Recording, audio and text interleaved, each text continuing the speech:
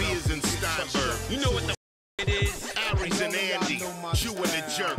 You know it's time to get this work. The real raw, gutter, uncut, cold. No political corrections. Always sleep. Being awoke. We discuss politics and jokes. Cry, we lit. There's levels to this.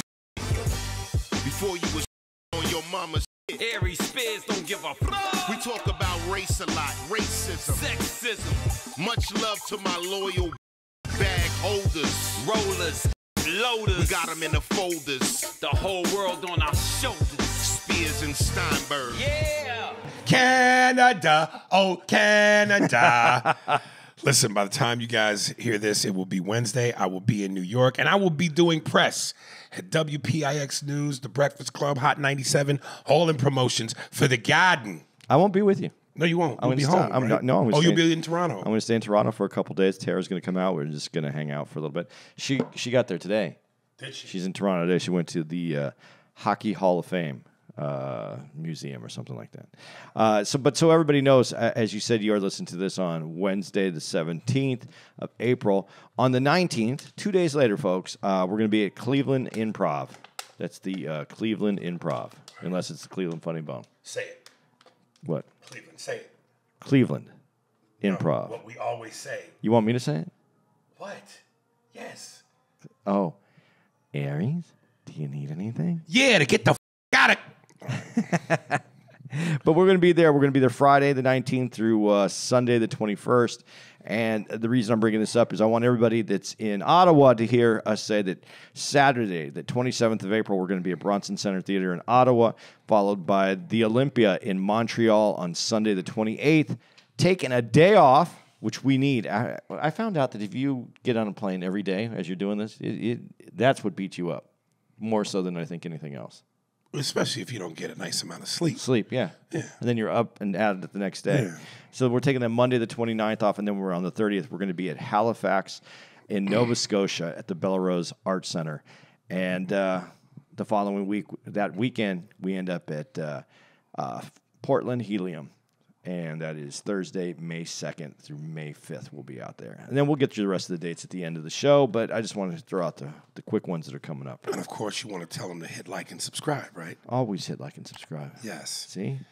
Okay, let's get into it because we got some nice appetizers before we get to the meat and potatoes. And the meat is very meaty, and the potato is very potatoey.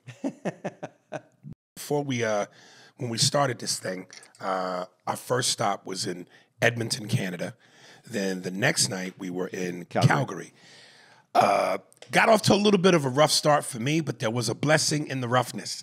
Um, I call I, I called Andy and and told him, and it was killing me because I wanted to tell him so bad. Oh, I'm finally going to get to hear this. Yes, Oh, and, and, and I said I want to save it for the pod because I just want everything to be fresh. So I was supposed to catch my flight at like six in the morning. My goal was to leave my house at three fifty-five a.m. I ended up dozing off somewhere around midnight, and you know, Andy knows.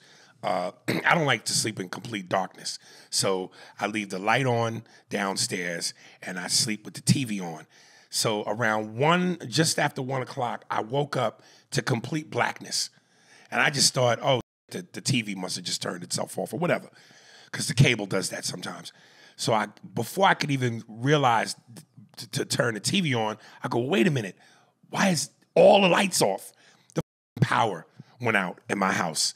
Um, so I was like, dude, what am I gonna do? I, I'm not gonna stay here in darkness. I'm not gonna go get a hotel room for like two hours. So I might as well go to the airport. But this was three hours before I had planned to. So I had to manually open my garage door, take my truck out, leave the house. You know, uh, turn the. I couldn't even turn the alarm on because there was no power. So I leave. I'm pissed. I get to the airport. I get to the shuttle uh, garage, and I end up uh, sleeping in my truck because I didn't just I didn't want to go to the airport and just be sitting there for a couple hours. So I decided to sleep in my truck for a couple hours. So I'm pissed about the whole experience. Uh, so then I go to the Air Canada. I get my ticket, and as I'm walking past the first line, priority line, uh, I look and I see one of the most beautiful women I've ever seen. I'm looking at this girl and I'm going, oh my God, she's gorgeous. But then I stopped. I went, whoa, wait, actress? She goes, and she beams this million dollar megawatt smile, beautiful teeth. She goes, yeah. I go, Paula Patton? She goes, yes. Andy, I go, Miss Patton, I don't mean to bother you, but I have to tell you, you are one of the most beautiful human beings on the planet. And she couldn't have been sweeter, Andy. She was diabetic sweet. She went, Oh my God, thank you. So I'm tripping from the time I leave her site till I'm going through security. And, and for those of you who don't know, and for those of you who do know, I've mentioned this woman on this pod before. I said between uh, who, when she played opposite Tom Cruise in Mission Impossible, I forget which one it was. I think it was five. Um, and the movie she was in with Denzel and Mark Wahlberg, where she was Denzel's woman and she gets killed in the movie. I said Paula Patton is one of the most beautiful women. Her bone structure, her eyes, her, her oh, beautiful. So I'm walking through security and and and I'm kind of hoping in the back of my mind that she's gonna walk through security. And sure enough, as I already, as I'm already going through the X-ray machine, I see her coming. I go, I gotta do it. I, I, I gotta do it. So I go, Miss Patton, I'm sorry, I, I don't mean. And again, when I say this woman is so sweet, I mean everybody that talked to her, she just the smile, dude. Uh, she's very earthy. Um, I go, Miss Patton, can I please get a picture with you? And she goes, Of course. So as I'm getting ready to take the picture, I go, I, I know this might be tacky, but I gotta let you know I'm a little famous too. My I'm I'm a comedian. She stops me and goes, Aries Spears. I go, yeah. She goes, I thought I recognized you. Andy, I never thought about cheating on my woman harder. so here it is, man. Uh, is this the pick? Boom. Wow. Boom. At what time in the morning is this? Uh, this is uh, uh, by the time we go, it's like four something, So four something in the morning, she still looks like that. dude. Now here's what I will say though. As much as I have a crush on this woman, body wise, she's not my type. Too thin for you. Too thin. The legs are, are nice, but they're not like my girl. Yo, she she she did adobo and sofrito and plantains. It shows. the thigh meat, the leg, the ass. This woman's body is very, and she's mixed, and you can see where. She got the the black woman light skin skin tone, but as far as the extras, nah, son. But you said the most amazing person. She was she was she was a great person. Very so earthy, very fucking nice. sweet. So that's that that's that's awesome. Ugh, dude, I I've, I wouldn't have thought in a million years that I would meet her, especially like that. So if I had, if it wasn't for the blackout, I'd have missed that opportunity. See? Damn, The blackout. the blackout. That's the name of this. I like it. The blackout. Through darkness came light. So that was the, that was the uh, that made it all worthwhile. That's, Oh man, son. that's why you weren't in a bad mood about it. No. Oh, that woman is so goddamn beautiful. Um, So that's a very nice start to the trip. Do you want to tell them what happened on the way to get to uh, Syracuse? uh, well, well, you want to jump that far ahead? Listen, man. uh, y- you don't have to. I got it. No, we don't know. I'm we. I got issues with Canada because once upon a time ago, um, I- and I know I told this story in the pod, so I'll tell it again quickly. Uh, I, I, got I, we, we we landed somewhere, and it was one of those things where they said you could get off the plane because you're going to come back on this same plane to get to your final destination. And I forget the exact details, but I got off the plane and I was trying to get back on the plane, and a flight attendant was giving me a hard time, and basically I pushed past her. So I made physical contact and pushed past this. I got arrested in Chicago, uh, uh, spent the night in jail. Um, and I think that was on my record. And then for some reason, and we talked about it in the car, DUIs. Yeah, When I got arrested for a DUI back in 2000, well, I forget what year it was. I think it was 2009, uh, 16 or whatever it was. That stays with you for some reason. And the weird thing is, everywhere else, anytime else I've left the country, Europe, Africa, never a problem. Why is this a problem with Canada? you you better off like killing someone, Jesus. serving your time, and then you can go to Canada. But if you get a DUI, man, they're gonna it, it flags you every time. So when I got to Edmonton and I had to go through um, immigration, and, and listen, I, I, I have this lawyer that I went through the last time I was in Canada. I can't remember when. And so basically, she got me all this paperwork. I did all the legal things I needed to do so I could have, air quotes, no problems whenever I come to Canada. So I got this packet about this thick with all the my lawyer gave me and said, this will prevent you from any problems. And I when you when I go to the you know immigration booth, they always go, okay, we see this, this, and this on the computer. Now you got to go to this room. So I go to the room. The one guy looks at the packet and he goes, yeah, I'm gonna have to go through this page by page. So then he goes to me, yeah, you need to probably call the airline and have them rebook you uh, on a later flight. Tell them you're with us, and they'll rebook you to get on a flight in like the next flight, which is probably in a couple hours. And I go, well, now I'm risking possibly missing my gig if I can't, if this thing doesn't work out timing wise. So I'm I'm starting to kind of sweat a little bit, and I'm going, what the f- is the point of this packet if this is going to still happen? So I called the lawyer. She didn't pick up at the time. Uh, she's back in la the time difference. I called my, my, my business manager. He ends up being able to reach her and she was going to call and iron things out. But here's the funny thing and, and this is why i go man being famous is the blessing and the curse. Because and i've had this happen to me several times when i go through canada.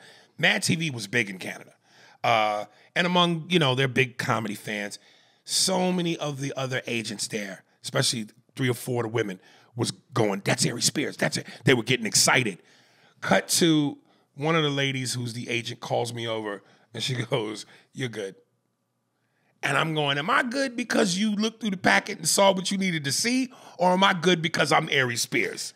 Both. You had the packet and your Aries Spears, and she just, just was, wasn't going to make you miss the flight.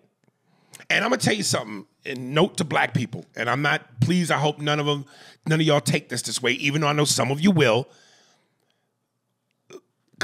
Man, I don't want this to come off like I'm kowtowing uh, fear of the white man. uh, But when you deal with authority, being an asshole can never help you. Even when you know you're dealing with an asshole. Like the guy, the first guy who had no idea who I was. And listen, I was getting upset because I'm thinking, oh my God, I got to rebook. What if I miss my gig? Da-da-da-da-da. And the whole rebooking process. If I would have gave that dude attitude, he holds the power. He could go, oh, you being a yeah, let me read slow through every page. And, and I'm just saying that to say that sometimes black folks, when we deal with authority, the police, and we can smell racism or asshole, it's not a sign of weakness to be smart. It's not a weakness to go, let me not be the bigger asshole than this guy, even though I know he's in the wrong. Because how does that benefit you? Well, it, it, the only the thing that I was going to say is, if you can clearly be calm when someone else is being an asshole, and someone goes, "What's the situation here?" It's going to be obvious to somebody else that one was an asshole and one wasn't. Not always, but Right. it should work out that way. Right. So it's it's good that you uh, maintain that. What that one time when you pushed past the lady, it, it caused that big of a stir. They're gonna like assault. Wow. You made contact aggressively, and you're black. Yeah, that's yeah. And you know they say you threaten any TSA agent or yeah, flight person, that's serious. Well, even like in in, in uh, New York now, it's a big like the the the people on the subways Yeah. and the the, the conductors on the subways, whatever. And you better not talk to them. You better not talk to them cross. You, you got Right. because uh, they they've been assaulted by people now, Right. and so they're they're cracking down on that hard. Yeah. Yeah. So yeah, yeah. So then cut to uh, uh, Edmonton, which was great. Calgary, which was great. I loved staying at the casinos. I, I won a couple uh, couple thousand dollars at uh, computer poker.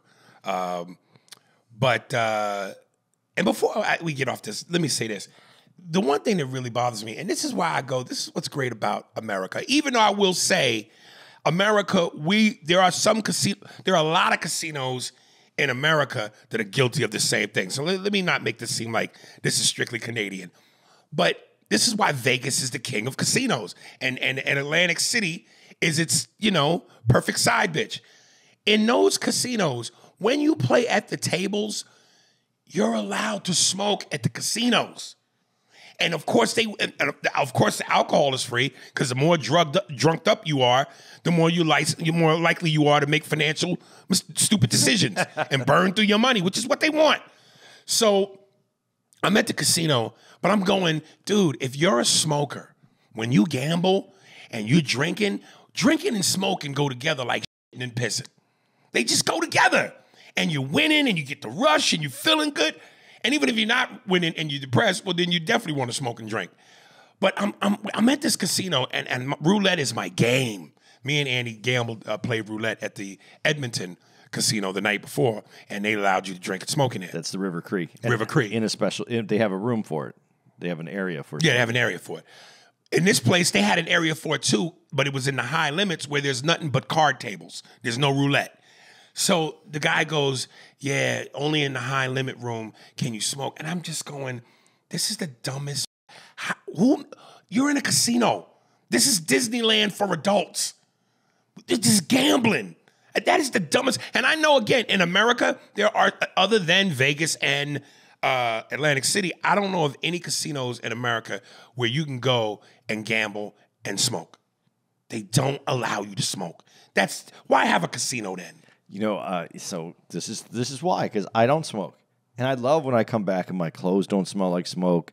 I, I am still fresh. Well, then they should make a room for y'all, not the other way around. I, am not going to. However you want it to go, I, I don't care because you're right. Once once once you break out the vices, why why are you stopping it? Why are you leaving one out? yes, you gambling, drinking, smoke, all of it's bad. So you might you. Uh, so I'm not disagreeing with you. They should allow like you it- to bitch on the table. Well, how did you feel about them taking cigarettes out of uh, or smoking out of the comedy clubs? You know, that was before my time. Okay. But it- I could tell you this: I, I wish they would bring it back, because again, there's, there's something to me very nostalgic, old school, rugged comedy to me about people that can sit back and when you see that smoke illuminate in the stage light, that just feels so old school. That that's what's missing, and and I and I, I'm very happy that I can leave a comedy club and my clothes smell without smoke. No, I'm I'm happy Right. with that. But at the same time, when I watch videos, man, there was something about when you watch an old video and you see that smoke just Mm-hmm. Right. coming up, and you- Yeah. that lighting and that whole look of everything. Yeah, there's something about that that's missing. Yes. Um, and you know, here's the thing I said too. At one point, I was on stage uh, in, in, Calgary, and I had a slip of the tongue, and I kind of said something about. I, I, I alluded to, I'm in I'm in America, and all a lot of Canadian people went Canada. They're reminding me, you're in Canada, and I go, and I meant this because I said this to Andy. I go, yo, there are certain parts when you look at the major metropoli- metrop- metropolitan cities like Vancouver and Toronto, you'll forget you're in Canada. Even in these smaller cities, there's certain similarities between uh, Canadians and Americans where you don't, you know, you forget you you're not in America. And I go, but nothing reminds me I'm American than as a smoker than when I buy Canadian cigarettes. you put death on the boxes. I love that they do that though. Th- th- In America, yes, it says on the box in words, this is hazardous to your health and danger. But in, when you buy Canadian cigarettes, like Patrice said, y'all put dead babies on the box. They show pictures of people with stage four cancer dying on the box, up lungs and, and throat cancer and tongue can- mouth cancer. And I'm going, how is this good for business? That'd be like if you went to a restaurant and you look in the menu and there's pictures of dead fat that all died of heart attacks next to the food choices. How is that good for business?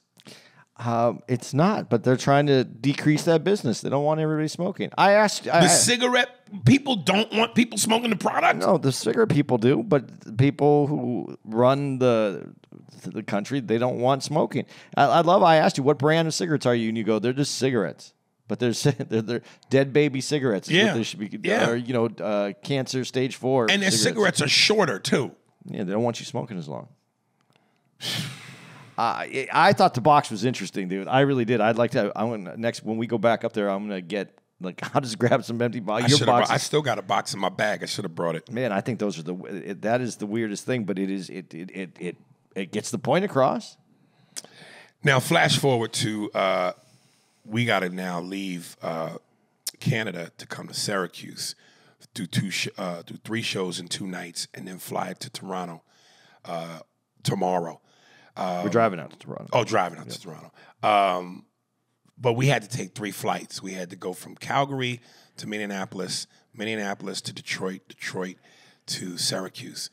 So the moment we're walking up to the gate, uh, to, to to the gate to go to uh, from here to from Detroit to Syracuse, Three gates away from where we landed. from where we landed, I go to Andy. Man, this trip has been so smooth. You know, if we get delayed, we're and Andy kind of just shook his head and didn't say nothing. But everything's on schedule. Cut to the plane that landed that, that we're gonna get on that let the people off. I'm going, oh, there's no problem. The plane's here. All I gotta do is do the cleanup. Dude, we're, we're good. Cut to there's a maintenance issue with the tire. The flight is delayed to the point where I'm calling the manager from the club and going, "Oh man," because my thing is all three shows are sold out. This is a lot of money, and this is a lot of merch. And if one of these shows get blown because of this, that's money and merch that's gone. So I'm like, Lord, don't please don't. And it cut it close, so much so that we got on the flight but we couldn't even go to the hotel and shower up. We had to go straight to the club. They had to start the show uh, late, put up a, a local dude to kind of fill in the time. And it was a rush job. But by the grace of the Lord, we made it. It, it worked out, but I mean, I seriously walked in, and as soon as we walked in with the manager and Aries standing next to me, he goes, "How soon can you go on?" I go, "I have to take a piss," and and then I, as I'm fin- as I'm zipping up, they're introducing me. So much so that you almost forgot to take your shirt. Yeah, I, And I had to remind you to take, grab your all day long Yeah, yeah. shirt. I grabbed my stuff and I went on stage. It, it, it was that quick. It was boom, uh, and then we were, we had two shows, so I didn't check in probably until like one o'clock. I, and uh, they go, uh, the manager's dropping me off, and he goes, "Hey, you shouldn't have a problem checking in." He just thought about it. I mean, no one thought about it, but I, Right. I thought about it on the drive over. I go, "I'm going to call and make sure that they know we're coming. so Yeah. they don't cancel our, re- our reservations." So yeah, everything worked out. It was it's it was good shows last night. Syracuse, we had the the show tonight, and uh, then we're jumping on that in, in the car, and we're driving up to uh, Toronto, and one show out there. So it, it's been a swing, but man, those one nighters where you actually have to be somewhere the next day, Yeah. when you don't have a day in between, oh, those beat you up. Yeah, and plus, again, we, we didn't get much sleep. And listen, I, like I said, I played uh, computer poker and didn't get to bed till three in the morning, and I had to be up at five. So I was really feeling it. That's why. That's why by the time I got done last night uh, with the two shows here in Syracuse, I went to TGI Fridays, threw a couple back, got some food. That, that bed hit me, my. And I was like, let's push the podcast an hour. Dude, if I would have went and had anything to drink last night, I would have fallen asleep at TGI Fridays. I, w- I would have because as soon as I got here, I was I was done. I was ready to go. I took a shower just because we hadn't really got a chance to clean up.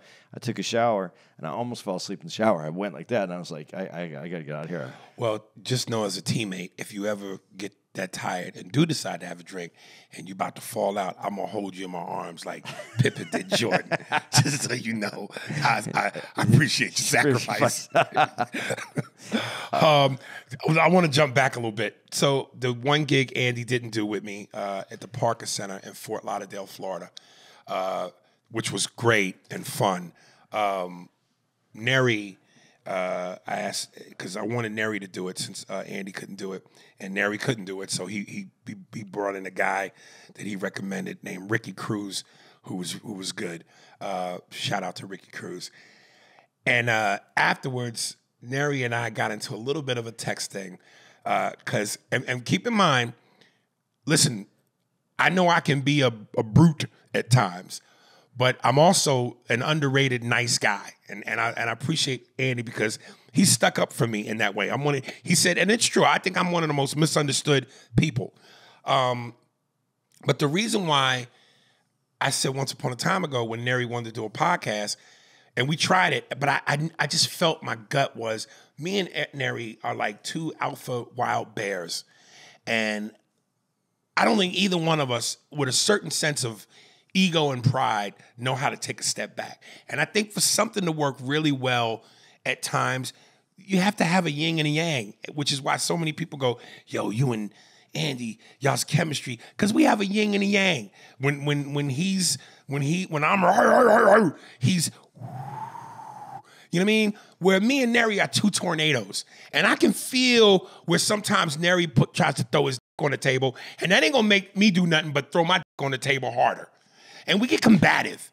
So at one point, Neri asked me, and, and I'm saying that to say that, I'm saying that to say this. He started this, all right? But I'm gonna finish the so he goes, uh, did you dig Ricky? I go, he's cool, not as good as you, but he's cool. Now that's a compliment, is it not? Yeah. So Neri goes, yeah, man, he's a cool ass dude. Uh, you can't get on him for not being as good as me. You ain't even as good as me. And I go, LOL, you couldn't even believe that in your dream. And he goes, Don't worry, bro, you're my dude. One day you'll be as good as me. Now, this is all tongue in cheek. Uh, and I go, Yeah, because club theaters and going overseas can't compete with cruise ship training. P.S., you my guy too. Uh, say hi to the fam. He goes, Overseas on the sea, same, same. I go, No, sir. Performing uh, for mostly vacationers on a cruise ship who are from the United States is not the same thing as performing for locals in a different country. When you're ready to level up, you let me know. I'm here for you, boo boo. And he goes, performing for people who go online, buy tickets ahead of time, get a sitter, drive to the club, go into the theater knowing exactly who they are about to watch because they are fans of the person is, and he puts in caps, much easier than making people laugh when they have even uh, when they he meant to say when they don't even know what show is about to go down, much less who the comic is, and even less are fans of them. Make people laugh that didn't even know who you are laugh while they're on a vacation after being out in the sun all day. Then get at me. When I go to the improv, now it's like taking a test with the answers. Easy peasy. Now, before I continue, I've asked Neri this question. I even asked Ricky Cruz this question this night. And I told Andy, yo, I've been doing this 35 years. I still get nervous, dude. But once I tell my first couple jokes and get the laugh, it's like, oh, oh, I, I drop my first couple jumpers. Now I'm relaxed. Now I'm in my rhythm. I'm backpedaling, tongue wagging like Jordan. I'm about to put up 40. But I'm nervous. And I remember I asked Neri one time, we were doing the, um, uh, what's the place? Not Fort Lauderdale. West, West Palm? West Palm. We're doing a West Palm improv. And now Neri's lost all this weight. But before, Neri used to like eat in between. Like once he gets it with his done with his set, or even before he does his set, this nigga eats. And I go, dude, how do you put food on a nervous system? You don't get nervous with the extreme amount of confidence. Nah. Okay. I go to Ricky before. I said, dude, you, you ever get and and and and and the Parker Center probably did about a thousand people. And you know, I go, Ricky, you, you ever you ever get nervous? Nah, man, this is easy. And I go, well, that must explain why I'm better than you. You need to be nervous because this much confidence, and and you're just not I, but be like, damn. And I listen, I'm, I know that I don't I don't know for sure, but I'm going. Maybe you know, maybe you don't have to be nervous to be great. Dave Chappelle probably don't get nervous. Eddie Griffin, with his bravado, seems like he don't get nervous. So I don't want to make it seem like that, but damn. I, you know, I thought about this because we talked about this yesterday. And I don't really get that nervous. I get some butterflies. I get that excitement, that nervous energy when I'm about to go up, but not nervous. You know what I mean? I get excited, that excited, nervous energy. But I thought about it. And I was thinking about this today, actually, because, and I didn't know we were going to talk about this. Uh, I know if I was you, I would get nervous. And this is why. This is the difference that he do, that he doesn't have in in his description, and that I don't have, and that Ricky uh, Ricky Cruz doesn't have. And let me just say this: if you're going where I think you're going with this, I'm gonna listen to you. I'm gonna stop you only because I think what you're about to say, we we address this. Okay. So, and I want to I want to get through it and then have you go. But go ahead. But go ahead because I might be wrong. Because my name isn't on the marquee. Okay. Can I stop you? Yeah, yeah, All go ahead. So when he goes easy peasy. I, I, again, I'm like, all right, nigga, you you throwing your weight around like you know easy peasy, but I guess that's just who you are. Anyway, so I go, nigga, please. We all oh, cause cause remember what he just said about not being nobody. I go, please. We all start out under those beginning conditions. Yeah. No one is born famous or successful. You earn your stripes and you don't look back. You're not supposed to stay under the same conditions to which you started out. Be careful, cadet. You're talking to a general. So then he goes, That's cute. You were 15. And now this is the part where I got a little pissed off. You were 15 when you started. People gave you a pass just because of the novelty of seeing a kid up there. You funny as I wasn't taking a shot at you. I was saying that performing for an audience that knows who and what they are going to see is so much better and easier for the performer than when no one knows or plans to see a show. That's just facts, I think. Not a shot at you or me or any person. That's a commentary on how performing under certain conditions makes it more enjoyable to others. And this was my last rebuttal. I said, first of all, nobody gave me a pass at anything. I did Showtime at the Apollo at 17 when them Harlem, New York don't give a who you who you are about your youth. They booed a young female named Lauryn Hill.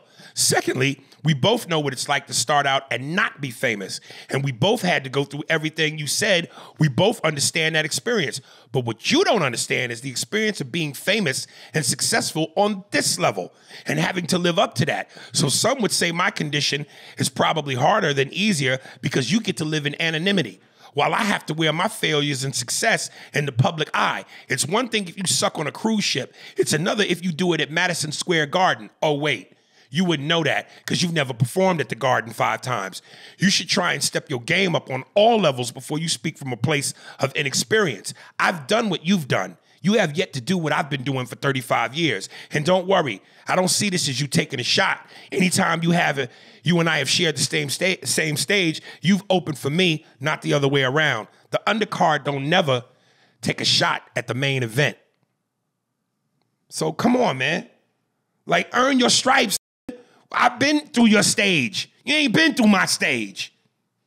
Yeah, but there's there's there's some places that you miss, but I don't think it affects that. That's not what this this story is about. Uh, and actually, the stuff that you missed would have benefited you. Uh, I know what you- So, so so you're, stuff you- you've- yeah. So you're not you're not even coming with that. So it, it's been to your disadvantage, not to your advantage. Is what I was going to say. I'm sorry, I pulled a LeBron James. Uh, Yeah. Even though I prefer to be MJ. Yeah, Straight out of Junior high school. But um, I, I'll say that uh, if if your name's on there, you you do you. They paid their money to see you, and so and I, and I addressed this at the beginning. You don't you know sit there, shut the up. You didn't pay for this anyway. I, I, I that's why I don't have the nerves. I don't have to walk into a room, and I'm going to be really honest. And you've done this, and and, you know, and uh, especially as we were coming out of the pandemic and people weren't coming out, and we show up at a show and the room's half, and you still have to. You got to go out there, and you get you're you're ju- you have to judge yourself by how many people actually came out to see you as well. Right.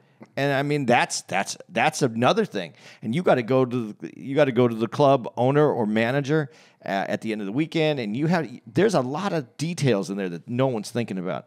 If if you sold out, if you sold out, you're a star to them.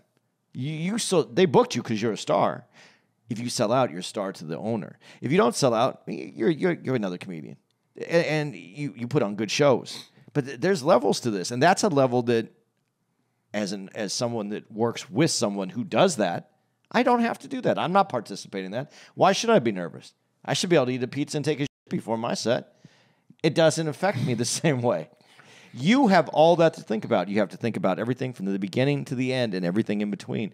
And I don't think people un- understand that. And then you have people that will come in because they do know you and purposely be no one's, you know, when you say that you don't have to, I I'm not saying purposely, but if they don't enjoy what you're doing or they don't like it or they might have heard that, uh, yell out some or say something or ruin a joke because they're not because they're excited and they're not even thinking about that. You have to deal with the excited person that doesn't mean to be up your set, but is so excited to see you, they're up your show, and that's because you're famous and because they bought the ticket. I don't have that. The only thing I have is that people don't like me because I'm not you. They want to get to you, and I, I'm in the way of that. And so I, I, I'm just the guy in the way. So I have to be funny, and it's nice when the crowd likes me. But if they don't like me, no one's talking about that. Oh, they may say it that opener sucked, but you know what's the greatest thing about when they say the opener sucks? They don't even know your name. So I don't have to worry about Andy Steinberg sucked. I just the opener sucked. Well, what you do also have to worry about, and I noticed this last night, and I've noticed this before, but I noticed it last night. When you do the bit now where you talk about not saying the N word, but thinking Yeah. it, there was a group of black women just Yo, I, yo, I saw that. right at one point, and she kept chirping a little bit when you would say certain things. You know, they call it the, the, the isms. Yeah, mm-hmm, show. Mm-hmm. But at one point, the moment you opened up with, I'm not gonna say the N word. She she she goes, you bet not. And as you continue to get into the explain the joke before you got to the punchline, her expression, the way she moved, she was so immediately closed off to like, damn, with your ghetto ass, free yourself and allow yourself to intercept what could be a great joke. Don't be so quick to be closed-minded and turned off off the first three words you heard. But see that that that I enjoy that in a way because what happens is is I love that people go to a certain place and if the joke is good enough, it takes them out of that place. Or sometimes it doesn't. Sometimes they stay right where they are. But that isn't on me. And that's I love comedy. I love comedy for that reason. Comedy is is is a skill set. It really is. If you have a weak comedy muscle, you're not going to get strong jokes. You're not going to appreciate them for what they are because you your comedy muscle's weak. But if you build up your comedy muscles and and you and you're willing to be open to listening to something, because I love talking about horrible. Shit.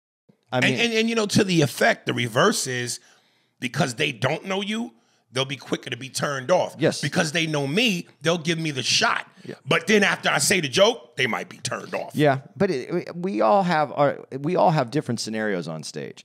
But uh, to what you know, Neri said and what you said, and, and there's there's more truth in the fact that everyone starts off there. We've already done that part. We're already doing this part. You had to excel past that, and you had to make. And the other part that Neri isn't going to get on this, and this is way different. You have uh, you have maintained your credibility in comedy this whole way through. It's not easy to do that. It's not easy to continue to sell tickets. It's not easy to, for people to come out and see you. Even the best of comics, they they wane. Very few comics. That's what makes them legends. Is when they stay in that area that they're relevant in comedy. Most people are relevant for a short period of time throughout their career, and the rest of the time they're they're they're off of what they have done. Very few people stay relevant. Right. So you know, there, there's a lot to it, and you know, but uh, ego is ego's ego's one of the things that you have to you know wonder. And you know, like there's times when I'm working with you, and I think something I said is funny that night, and I go, "That's the funniest thing that was said tonight." Am I right or wrong? I don't know, but I I think it might have been the funniest thing said that. But I but my ego doesn't need to be. I don't need to tell you that I thought what I said tonight that night was funnier than anything else that was said that night. I don't know if that's even true. I'm just using it as, as an example, but I'm just saying I don't have that in me. Uh, I'm funny based on what the people saw and left with. Did they take anything with them? That's all that I'm concerned with. Did they like? Did they see me? Was was I funny? And did they take anything that I said with them home? Right. And that, uh, all this other shit that people get get uh, into comedy and competi- comedy isn't a competition the same way sports are. I can go and say, "Hey, I can lift this amount. Can you lift this amount?" Okay, no, I'm stronger. But than you don't. But you, but, but honestly, I, you don't believe that most compete comedians are competitive in a way. Oh yeah, they're competitive, but when you come to the realization that this is you're, you're giving, comedy is something you don't keep, you give. So if I'm giving it to them and they're taking it home, I, I, what you're basically saying is whose president was more likable that night? Then, what you gave out, what was more likable? Did you give the best gift? Yeah. Right. And I, I'm not saying, listen, they paid for you. They sh- when they leave your show, if they don't feel that you brought the best gift, then they feel like they got out of their 35 or 47 or whatever dollars they spent that night. You better come with it. But he uh, he's com- um, he said it in there when they don't know you and their expectations and they don't. The only thing we don't get as an opener, I believe, is when people come they don't know you, so their expectations are negative. They're, they start off negative, so you your bar isn't as high. But the thing that you don't get, you don't get trust. And that's that's the funny thing for me because opening in front of you and being different than you, and I like talking about horrible situations and they don't know me. They don't trust me sometimes. And sometimes I have to get them and say certain things to show them that this is going to be okay and I'm not going to leave you in a bad spot. No matter how horrible this joke is about to sound, I'm going to make sure that I twist it and bring you back so you can see it from my perspective. That's the hardest thing for me. I think that's the hardest thing for a comic that doesn't isn't known is that you don't get the trust and you just come up there and you're, you're doing your jokes that you think are funny. You don't know anybody's personal experiences. You don't know what they're going through, and you have to bring them into your world. That's the hard part. But competing between each other and, and Neri saying those those things, I understand where he's coming from, but it's unnecessary. To me, this is unnecessary. Yeah, that's why I'm just saying. Like I, and again, I started off with a compliment. I said, "Hey, I like dude, but he's not as good as you." And he went and went, "Well, let me playfully jab at you." Well, now I got to playfully shoot you. Well, but if he was meaning it to be funny, then you know, did you take it? Did you? Did you? You know, if I, It, it, it to me, it it bothered me when he said the thing about me getting a pass, like the, the novelty of a kid. Like I'm a novelty. Like no, dude, I was doing. Indigo Blues, Tribeca, Terminal D, Peppermint Lounge, in East Orange, New Jersey, Newark, New Jersey, Queens, Long Island. I did some of the blackest rooms, toughest rooms in New York and New Jersey with some with some heavy hitters, Bill Bellamy and some other dudes, Teddy Carpenter. And it's like, yo, no, I wasn't getting passes. I earned my. well, and I didn't come out as a cutesy novelty. Hill, look at a cute 16 year old. Yay. No, I came out with my on the table like I was Richard Pryor at 14. Well, I will say this: Even though I know I wasn't. When you uh, when you're a kid, I, and I'm, I'm saying this from people that I've seen from watching, and I've seen young comics, young comics come into a room to do a show. Yeah, you're cute, so some people are going to like you because you're cute. Especially your family is going to come out and support shows. But I've seen cute kids that are cute coming out to do comedy, and there's people in there who spent money at a show. They're buying these two drinks that they didn't want to buy. They're sitting there, and then some kid comes out and they're like, "This month, now I'm going to have to listen to these chirpy little kid jokes." Right.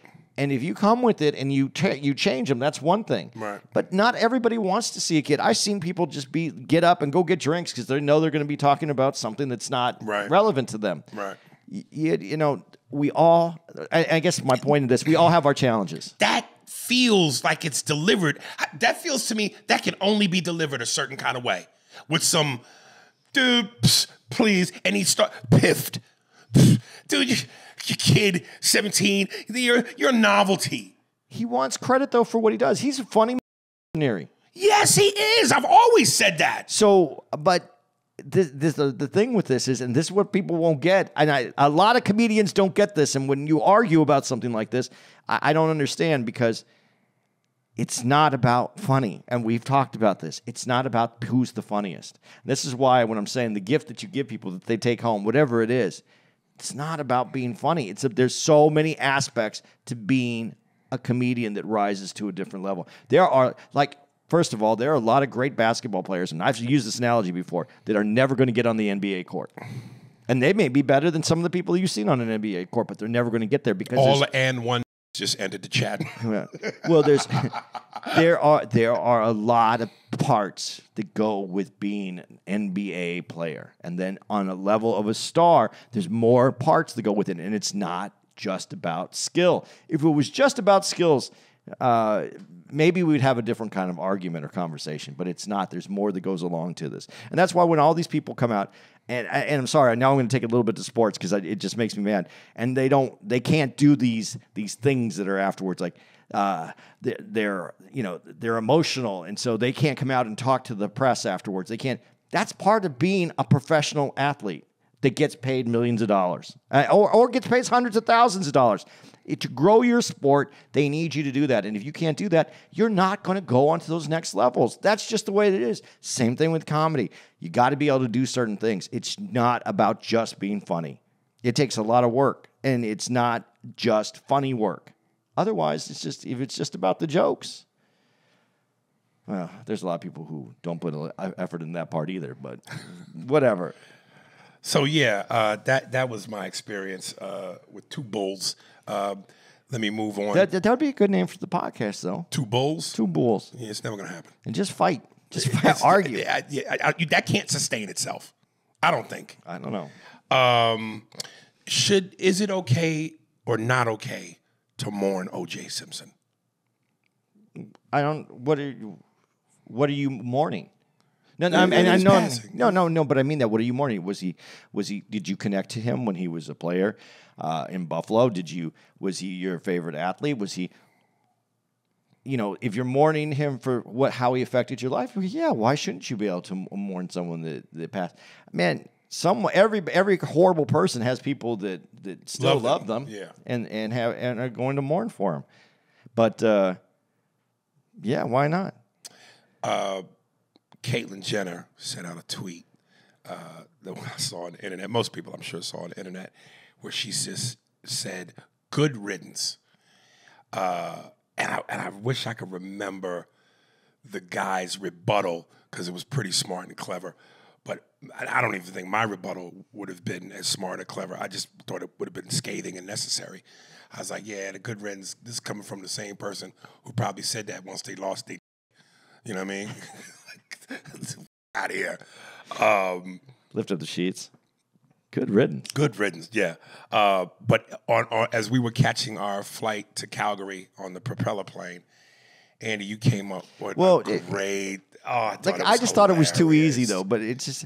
Look, I love how you give yourself credit and then take it away. But I, it's, it, to me, But you didn't say that at the time. I didn't. I, I I thought this was this would be the best way though for for OJ to have a funeral, and Hilarious, they get a white Bronco. hilarious. They go down the 405 with just nothing but police follow 'em, slow, And his casket's in the white Bronco. just going down the. That's hilarious. All the people come out just like they came out just uh, when they were chasing, him, and they wave goodbye to OJ, and then they take him to probably the the famous what is it, White Lawn Cemetery or whatever. They, Yeah. and, and they pull up, and, and and the Bronco opens up, and then there comes the That's brilliant. He, he, he go. It's full circle.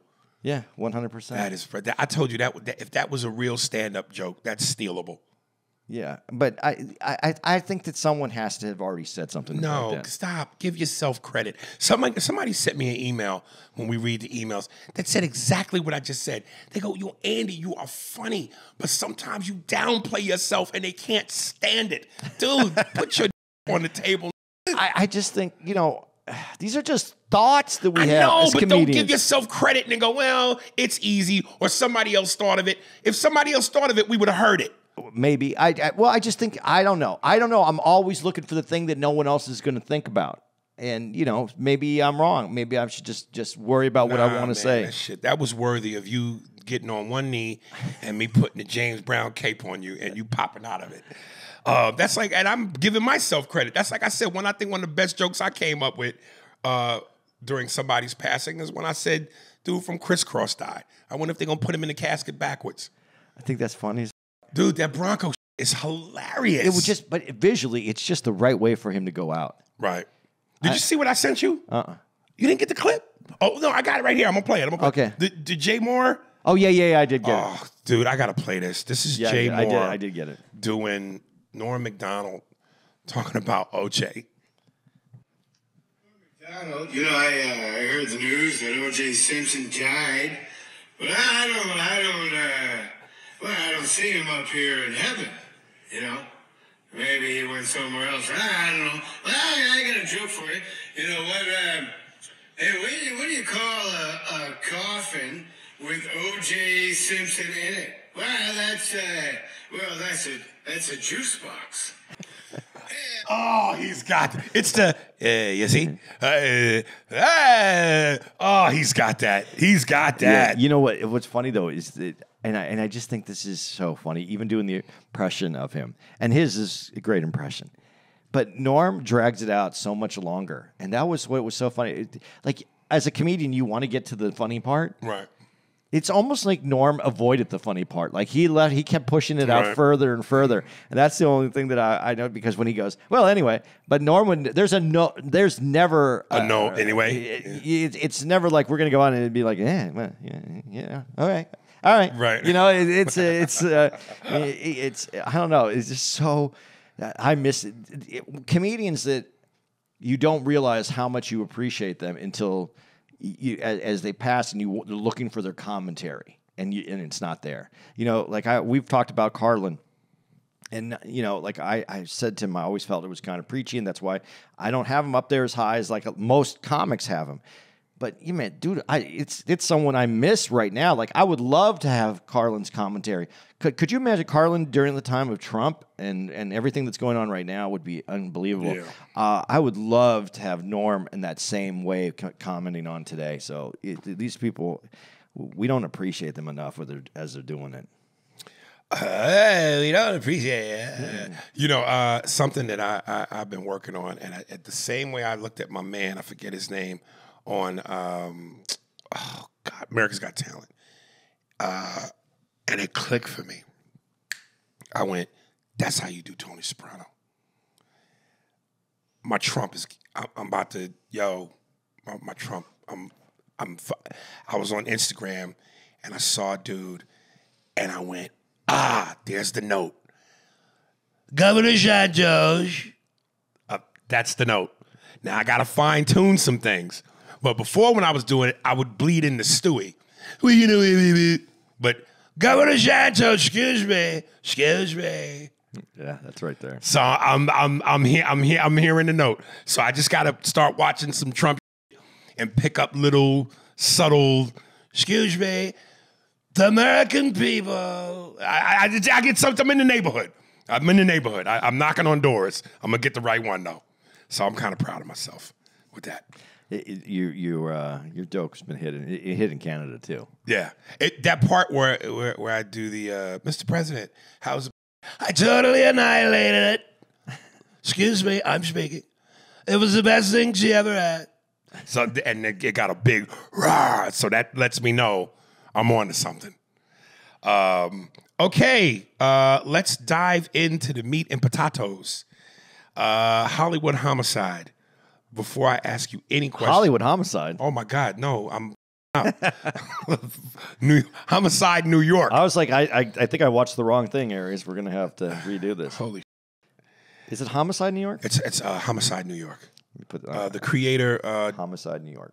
Wolf, of course, SVU, Law and Order, and it's had that feel to it, which I think part part, part is is part of what made it good. Um, so before I ask you any, well, here's my first question. Uh, overall, what did you think? Was it riveting? No, it's not riveting. I don't think it's riveting. Really? Yeah, You didn't enjoy it? I, I, I, I enjoyed it, but riveting is a word like I'm, it's suspenseful, and I'm, I, I, it was riveting like a podcast is riveting in in uh, in in, um, in these uh, death kind of podcast, uh, this crime, this that crime genre. Right. I, I'm not. I, I was. I really enjoyed it. Don't get me wrong, and I love. Was it worth the watch? Oh yeah. Okay. Because what I like, what, what, where I feel like Wolf's fingerprint, I might be wrong, but I think it Wolf is- Dick! Wolf Dick is him uh, uh, getting the right chem, the right people to put the the right cops to make this work. Well, it wasn't like it was a, a fictional cast. It no, was real. no, but you had to find. You know, there's a lot of stories out there. There's a lot of death. okay, I see what you're But you had to have. You also had to have people that were uh, that had some kind of reason to listen to them. And I, I even called you and I said, "Hey, did you like the one?" Detective Mooney. yeah, and I said, and then I go, "Yeah, he's the Nick Nolte of this thing." Yeah. And you know, there's that gruff sound, that who he was, Right. his character. You know, and they bring that to life in this. And that's what when you say is it riveting? What I, I was very entertaining, but it, like re- I wasn't like on my edge of my seat going, "Oh my god, this happened." Right. There's some moments though that you want to like go slap some people, bunch some people up the head.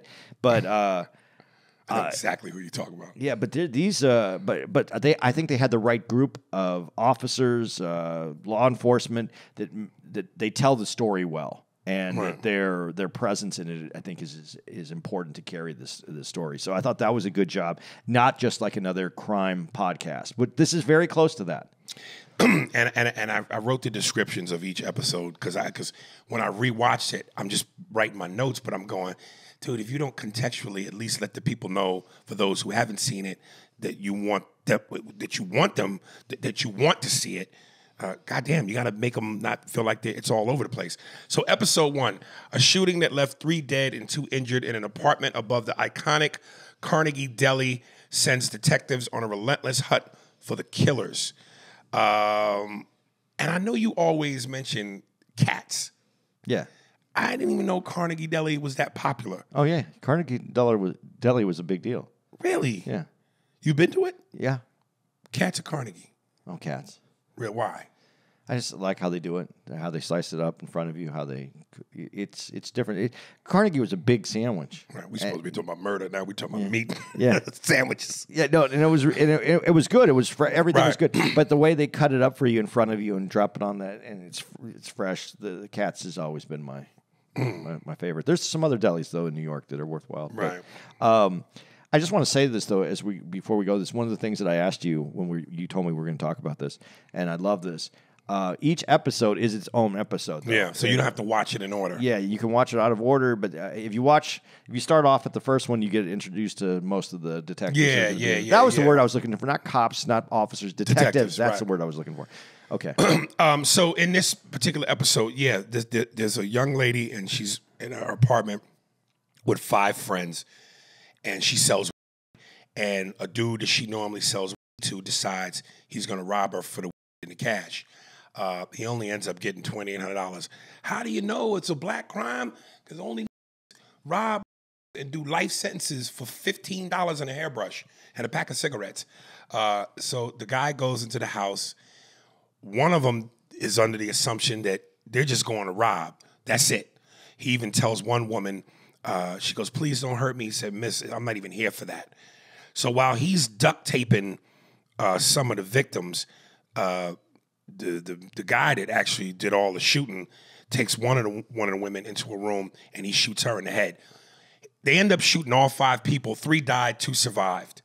Um, and my question as I'm watching this, I'm, I'm saying this, I'm going, if it's five people versus two, even though two have guns and the five don't, knowing there's a strong chance that once you're tied up and you're defenseless and you could be killed, wouldn't it be best to say "F- it and just try and fight your way out of it, even if it means getting shot? In other words, wouldn't it be best to give yourself a chance to live than surrender helplessly? Everybody feels like they're gonna that people don't want to kill, and that they'll come to their senses, and this will end in a good way. Man, No, no, no. I'm, I'm being honest. The the uh, the World Trade Center attack. That there was enough people on the plane that they could have overpowered them. People would have got cut up, and some people might have died before, but not the whole plane went down. But they never thought that they were going to take the whole plane down. They always think that if you sit there and you do what people say, Right. there's a better chance the outcome will be better, and that's what that's what they thought. to me, the chance, if we're gonna play the chance game, if you're saying to me, I'm, I could either play along and there's a chance they won't, or I could play along and there's a chance they will, that to me is not a decision. That fight for your goddamn life. Because if you don't fight and they kill you, once you're, especially when you're helpless and tied up and bound, where you can't do anything and you flat on your stomach face down, well, then you're but if you're not tied up and you rush them or a tussle ensues, you still might get shot, but you might wrestle the gun away. You Well- might do something. But you also have to remember there's five of them, right? How many were women? Weren't three of them women? Yeah. Okay, so the two guys Uh, one, two, no, two women, three men. Okay. So, but a gun. A, a gun is like 10 guys. Dude, I, I, I'm going to tell you this. If I- all five people rush two people with a gun, no, a chance. I, I think you, I- I'll just tell you from this this perspective. Uh, I don't know if I told, if I ever talked about this on here. I probably might have. I got robbed at gunpoint. Yeah, you mentioned it. Two guns. But by by by two different guys at the same time, right? Yeah. But that's two on one with two guns. But I'm still in the same situation where I got to hope that these guys just want my money and I'm going to get out of this alive. Because if, if, if- what if I was standing there and it was me and two, me and another guy? We're going to take on the two guns. There's a pretty good chance that we're even if we survive. There's a good chance that they're going to take the money and leave. There's a better. I don't know what the odds are that you're going to get shot, but I know if you get into a fight, there's a pretty good chance some bullets are going to be shot and someone's going to get hit. I, I, I, really thought about it because when the first gun hit me, I was like, okay, what do you want to do? Do you want to turn around real quick? Do you? I even thought about passing out. Honestly, I just thought about acting like I just had like I just had a heart attack, like oh, and just falling over and what the, what they would do. I mean, all those things go through. How your about mind quick. running? You didn't just think take off? Ooh, dude, they got me in a good place. I was right at my. I was. I was in my car. I was. I was putting something in the glove. I was on the driver's passenger side, the glove compartment. And when they came up, they came up, and I was wedged in my car, like I, I was in the door area. You know, the door's open, so I can't go anywhere. There's nowhere to go. So I'm stuck there. Now I could have jumped in my car, but now I'm because now they can just shoot me in my car. And and the thing is, when people have guns on you, you have to decide also are they are they ready to shoot? These guns were ready to go, uh, and when you feel a barrel on you, it, it changes your thought process. Because there's there's no when the barrel's on you, there's no miss It was literally on you. on me. One in my back, one in the back of my head. Oh my god! So you there's no miss. What if I you know, and that's two guns, but you're I know what you're saying here. Now there's three guys, so one guy is going to be free, and there's there's only two guns. But those first two guys are done. If, if they go to take those guns, if, if these guys are nervous, th- that's the other thing too. One of the guys was nervous as, f- and that's who you have to worry about. The one guy, honestly, the one guy when he, I was robbed, I knew what he wanted. He wanted the money. He he was very. It's funny to say professional, but he's professional about it. He he held his gun. He was fine. The other dude was shaking. Don't look at me. I'm scared. And that gun is just moving like this. And I'm like, you could take his gun, but there's a pretty good chance that he'd fire because even if he didn't want to fire, he'd fire because he's shaking. He's already nervous. That's the one that's going to kill you. The one who's scared. Uh, and then one of the survivors survived a, a, a, a, a gunshot to the head. How do you survive a gunshot to the head? and and the bullet went in his head and around, which is amazing. It goes in. It's around the brain. It just Right. stayed stayed up on uh, up to the bone of the head. Uh, man, because because that's how the world works, man. And you know, again, this is uh, ah, there are two moments. One that I wrote down, and one that I just thought of. This is why I struggle with the God thing. The one guy that survives goes, uh, the one who shot in the head. He goes, "Yeah, God must have been with me that night. He was with you, but not the others. Why? Why you and not the others? Th- that makes God up. You spreading out protection selectively? God, the most powerful entity? That's why I'm going. This is crazy. Because that's our interpretation of it. How many times at the end of a football game, well, you know, Which I think is ridiculous. God, you know, God was on our side. God- picked a team. And they both prayed. God must not be a fan uh, uh, uh, uh, of of, uh, of of Dallas. Well, I'll tell you who he is a fan of. the greatest square jaw, cleft chin, Anglo Saxon, purebred white man to ever live, Tom Brady, and the Patriots kid. How many Super Bowls? So you know God is a Bostonian. and he loves Brady kid. He's been with him the whole time. Jesus Christ. I don't mean it like that, but Jesus Christ. All right, Bobby Patterson, by the way. Um, yeah, man. Um, and you know, I, I, this is something as I'm watching this, and and these detectives are are doing their thing. I go, as we say, there's levels to this. Where do detectives learn the skills to be so good at what they do that separates a mediocre detective from a he or she, where he, from a he or she that is the MJ of detectives? Because while I'm sure there are things that are taught to them, I have to believe that there has to be a certain level of intuition, instinct, and intelligence that simply can't be taught. How do you learn that? Uh, there are classes though where you people give away tells and they they, they, they let you know that they're lying. Uh, but I think what you just said, intuition, you have to have it. But I think I think these really good ones are there for the right reasons. I'm, what I mean, they want to better their community. They want to, you know, the, what is it to protect and to serve? Mm-hmm. I, I think there are people that want to protect and serve, that want to have a good community, that feel like they're that that's their calling. We don't know what makes people want to be doctors, and other people want to be, you know, bricklayers, and other people want to be, you know, uh, welders. All these jobs are a calling and a skill set that you have to have some innate skill to, and I think these guys have it. And I think if they really are doing it for the right reasons, uh, it comes out this way because the guys that we have on here, and I really like that one detective, the the one you Mooney? Dude, he, he he he doesn't even look like he in those pictures where he's young. He doesn't even look like he looks like he's Right. just somebody who's drinking at a bar. He looks like he looks like a, a dude from Boston. Yeah, okay. right, right. And so, uh, you know, but he he's definitely meant for what he does. And Yeah. but uh, and I, I I know it's a five part series, so I'm not going to give away the last part. But you know, it, it takes a toll on these guys. Well, no, you don't. You don't have to give it away because I was actually going to say that. Like when you go, there's people that want to better their communities and do certain things. Every from several of these detectives to even the the uh, the district attorney, or is it the prosecutor? What was the guy with the glasses? That district attorney Yeah, or he's the- prosecutor? the DA. The DA. He got so emotionally caught up that he had to get out of that and Yeah. do something different. Well, they talked about it because they said he wasn't ready. He got into it and he didn't have. the tough skin, in a way. Yeah, because you have to have other crime scenes that you've been to, and you've had to. He got like two rough ones right away. Right. And even some of the detectives got a little emotional Yeah. with some of it. So, you know, it's I'm sure there are guys that do this clearly to earn a paycheck.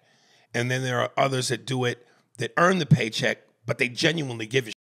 And and I and and you know, that's respectable. Yeah, well, that and that's as we talk about, and- we talk about policing, and I've talked about policing on here. You have, uh, and, and we usually go back to the same thing. You know, why do we let the the the, the knock is the knock that we have isn't the policing; it's the knock that the, the, these good police let the other ones. I want to say give them a pass, but don't turn them in, and that Right. that's the problem. Right. But these guys, this these guys are exceptional detectives. They're not street cops; they're detectives. Uh, unbelievable, man, to put that kind of effort in. But I like when you say taking the toll. If you have to go see these scenes, and I and I and I kind of, you know, not the, the the street cop, the cop that's on the street. If you're those first on the scene guys, and you see this stuff, how how do you not get a little jaded towards humanity? How do you? Because you're looking at some of the most horrific stuff that you. And episode two gets more horrific, and I like how they start off. This the first one is is horrible because it's horrible. Uh, she's she's an actress. She was on. She was in Dirty Dancing. The Yeah. shows. So she she she she had skills. She was a talented person, but she was also uh, had some good and she had a very small community and it helped uh, finance i guess finance her her music career is what she was doing and uh, to have that you know and she, they said it was a tight group and they didn't let just anyone in and so one of the people that were in the group or the people who went the wrong way on her looked at it an opportunity to get some money out of it and that's where it all goes wrong so uh, that's the first one Well, this is my last note on this first one is this. the one of the detectives, I even think it was uh, was it Detective? No, it wasn't Detective Mooney, but it was a the big bald guy. But he goes, you know, there's levels of denial. These guys go from I don't know what you're talking about, I wasn't there, to I was there, but I don't know what you're talking about, to I was there, but I didn't do it, to I was there and I did it. Uh, and I'm going between that and the fingerprints. Like like they said, we lifted your fingerprints off the banister. What the is wrong with with these criminals? Like, like who the doesn't know that if you're gonna commit a crime, you wear gloves? I would think that's in the basic. I'm gonna commit a crime for dummies 101. Um, and how do you not allow yourself to get? How do you uh, allow yourself to get interviewed to the point of basically telling on yourself? No lawyers, no gloves. Again, there's levels to this. shit. And I go, some idiots absolutely deserve to be caught. Well, but here, here's the thing with that one guy, and I, and I could be completely wrong because I don't know. You know that, that that's up for debate in this in this episode though too. The one guy, Right. there, there's the there's the two, the shooter, and then the other guy who said that he was just going there for the money. If you're going there for the money and you're robbing, especially at this time, this is when uh, was illegal Right. and it's not a huge amount of money, right? You're going to go in there. You're going to it's someone you know. You already have. They know who you are because she knew who he was. So she's going to know who she is. He is. So you're going to go rob her. You're not going to be friends with this person anymore. You're probably not going to stay in that same city anymore. You're probably willing to leave, oh, or you just don't give a. F- but he's going in there to rob and take, uh, not to kill anybody, because if you're at that time, if you're selling and you get robbed, what are you going to do? You're not going to go to the police. You can't go to the police and go, "Hey, someone's broke in and held us held us at gunpoint and took my and then left." Right. What are they going to? They're going to arrest you for selling. So you can't. So that if you're that one guy and you go, "Hey, it's going to be easy. It's just this girl. I know she's she has this good. She's probably going to have a few thousand dollars. Let's go in there. Let's hold her up. Let's take the, the." And the guy was like, "I don't know her, and I'll just go in there with him. I'll get my money and I'll leave because there's nothing that anybody can do about it, really." Right. But instead of that happening, someone gets nervous. And I don't know if he was nervous or if he was angry or what. You know, who knows what was said in that room because they knew each other. That's the other part of Right. this. Right. So you think he killed her because he had to? Well, or because yeah, she said something that he went. He either got nervous because obviously she knows him, or she he knew that, sh or knew someone that knows him that it was going to ruin his life or whatever. And you know, most people at that time would go, "I'm out of here," and just walk out the door. If they, but he had it in it to kill her. Okay. Well, then if that's the case, why not wear a mask? Yeah, I don't know what. And, and if and if you're worried about her recognizing your voice, do a silly voice. Be, be, be Mickey Mouse. Who knows why this happened the way they did? It wasn't obviously thought out very well by this by the guy who did the killing. The guy, a lot of guys aren't thinking, but you know, a lot of guys aren't thinking that this is going to go this far. But if you have a gun on you and you're going into a crime, you better be prepared to use the gun. That's why you brought it. And if you don't use the gun and you get caught anyway, and you had the weapon, now you have this is a different kind of uh, a crime. But criminals don't think about this stuff. Good criminals don't think about. Uh, will will have covered everything, and they don't go and rob people for twenty eight hundred dollars with with a gun to go get some. I love when Steve Harvey said, you know, if you ain't good at crime, don't commit crime. Do what you're good at. There's some people that are great at criminal crimes. Uh, episode two. Uh, after an excavated body is found in Central Park Lake, a pair of unlikely suspects are implicated in the killing as shocking revelations surface. So uh, yeah, and they talk about Central Park, and and like Central Park is such a major piece to the New York landscape, but yet in the '70s and '80s was described as dangerous, especially at night.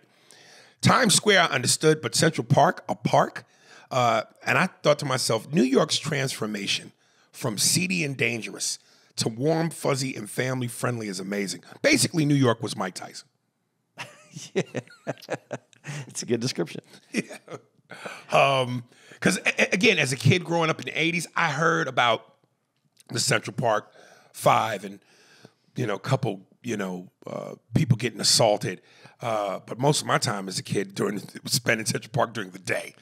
Uh, but I just would go. It's a park. But even at your time as a kid, because you're older, when I was growing up, I'm 10 years older than you. Central Park, you didn't go in there at night. You knew there was problems. There were people that there was a lot of problems in New York at that time, and you know that you go hide out in the park. Right. It was an easy place to go. Right. You can't. You commit a crime in a park. Yeah, park now. You know, you go.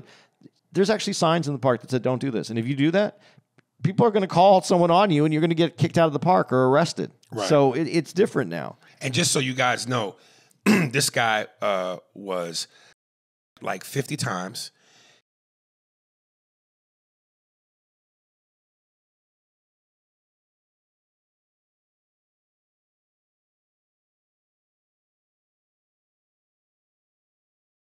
All done by two 15 year olds. Yeah, and when uh, when they told me, I didn't even care about the 15 year old part. I just thought, I just thought, Aries just listened to that, and he's Oh, trust me, my head was doing the Stevie Wonder nigga. Like I was looking away from the screen. Can you really love me?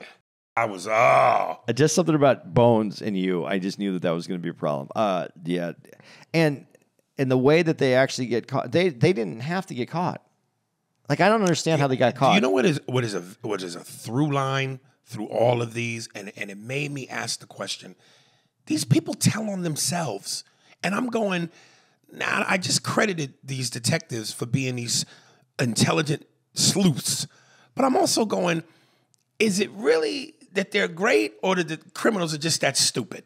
I think it's okay. It's a combination because, first of all, the girl, the girl who's living at the Majestic, which is supposed to be this. I, I don't know the This adopted girl. yeah, it's supposed to be this very, uh, very high end uh, living environment. Her dad's got tons of money. So um, I guess she isn't there, and he calls the police, and they come over, and then they find her and the boyfriend taking a bath. Cleaning blood off each other. But they didn't know that he. But the detective only saw a drop of blood, and he said, "Oh, he cut his head. He fell." And so it was it was noted, but it wasn't a big deal. And then he leaves, and then they must have talked, and they must have overthought it. And they called the police, and she said, "There's a body in New York." And then- yeah, she told the cops. if she doesn't call the cops, that guy probably there's a very slim chance that he puts the Majestic Hotel, Right. an affluent teenager and her boyfriend at that crime scene in the park. Right. Uh, it probably isn't going to happen. And and this girl's background was she was no saint. She was problematic. She was a she was you know she, people didn't like her because she was just a a, a, a, kind of a child. she has some control issues. Control issues. Um, so between the murder and her behavior problems, I they the was adopted. You see, the parents didn't want nothing to do with her. You know, I, I- you know, this this I, I have a friend. Uh, well, not really so much as someone that I went to school with a long time ago. I don't really keep up with him, but he was a really nice guy. Was adopted by uh, a family that had good, you know, well, were, were- did well, and uh, normal person, good guy. Right. Seems like a fair trade. Like I needed a kid, you were available. I'm going to get you a good life. We're gonna, everything's going to be fine. And the first thing I thought of was like, how are you this parent that you want to give a good life to someone? Um, and and I'm I'm using good life in a financial way because I don't know what the home life was, but I'm assuming that it, I, it didn't. No no questions were brought up about the parents. But you, you get a and then you get the kid that is going to be the problem. That's going to, you know, make your life miserable. I mean, do you think you want to return the kid at that point? I was going to ask you now, as as a, as a, as a parent of a biological child, you're the biological parent. If your kid up and up and just continues to up, it's in the rule book. You don't ever abandon your kid. But if you're adopted, what's the limit before you go? I got to return this back to the pet shop. I don't know. And you know, I would think though that you fall in love with the kid. The connection, from what I understand, is supposed to be the same. You you raise the kid, and then they said she when she first went to school, she did well. She got along with everybody. Something happened. Something happened. I, maybe not. Maybe I. Uh, Maybe it is the home life, Maybe it is. and we just didn't know about it. Maybe, but it, there was there was something that went wrong because she turned into uh, a straight up killer. And and her boyfriend, he was described as an extrovert. Yeah, he's in a different situation. He's living in Spanish Harlem. Harlem, Harlem doesn't have come from money. but a good life, but a, but a, a nice life. Let me, Right. you know, it, it's not a financially uh, successful life, but it's it's a li- it's a good home life. He's constantly being picked on at school. Because he's friends. quiet. He's Yeah. kind of what did they call him? What did they say? There, there was a word that they used. Uh, oh, it was Herb. A herb. Yeah, he was a herb. That's what I called Eminem. yeah, a herb. Yeah, that was an East Coast thing. Yeah, uh, he was a herb. Yeah.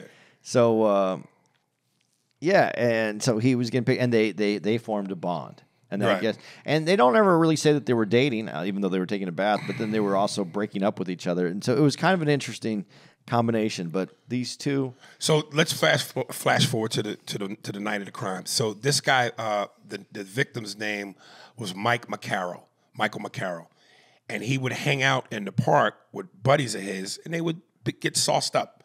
Uh, and on this particular evening, uh, the teenage girl and her boyfriend Chris uh, decide to go rollerblading, and they meet up with Mike, who's now by himself. He's had a few beers, um, and she decides her and her boyfriend to go skinny dipping in the lake. And when oh, and prior to this moment, they said that she said to her boyfriend, "I'm gonna kill somebody tonight." So the definitely had problems. So she gets out of the lake. She's butt naked and she looked chilly. So the cops said that based on what was told to them uh, by her, uh, Mike puts his arm around her to kind of warm her up. This sends her boyfriend into a rage. He pulls out the knife and then does what he does. And I just went to myself, um, I have a hard time believing that a man standing at over six feet and weighing 200 pounds plus pounds can't fight off two 15 year olds. he was drunk. They said he was a three point something, like three times over the legal limit. He's drunk, and if they get if he gets one good slash in there, you're kind of a little incapacitated. But I also liked that when they said when, when the cops said when they when they are going through it, and they're saying, but now it's looking really sketchy for him, the Mike guy, because why is he drinking? Why is he giving drinks to these Right. young kids? And then you find out that the young kids had the beer, and that what they lured him away. Right. So Right. uh, well, they lured him away, but it wasn't easy because he likes to drink. he likes to drink, but they Right. but because he had beers and they were going to go. Right. the, so so the reason I don't believe this, uh, her story about him slashing, is because they had beers. Mm-hmm. They knew that they were luring him away. She had had a story about getting in the water. I could see her going, "He's co- I'm cold," and then her saying, "He's touching me." You know, d- Right. I, am not. I'm not saying. I'm not. I shouldn't be blaming her, but they, the the way that they portrayed her. Uh, in the criminal court case, yeah, she's she's the one that has these this agenda and these things to accomplish. But also, she she kind of was halfway throwing Chris under the bus At the beginning. In the beginning, because and this is where again, this is where the detective skills come in.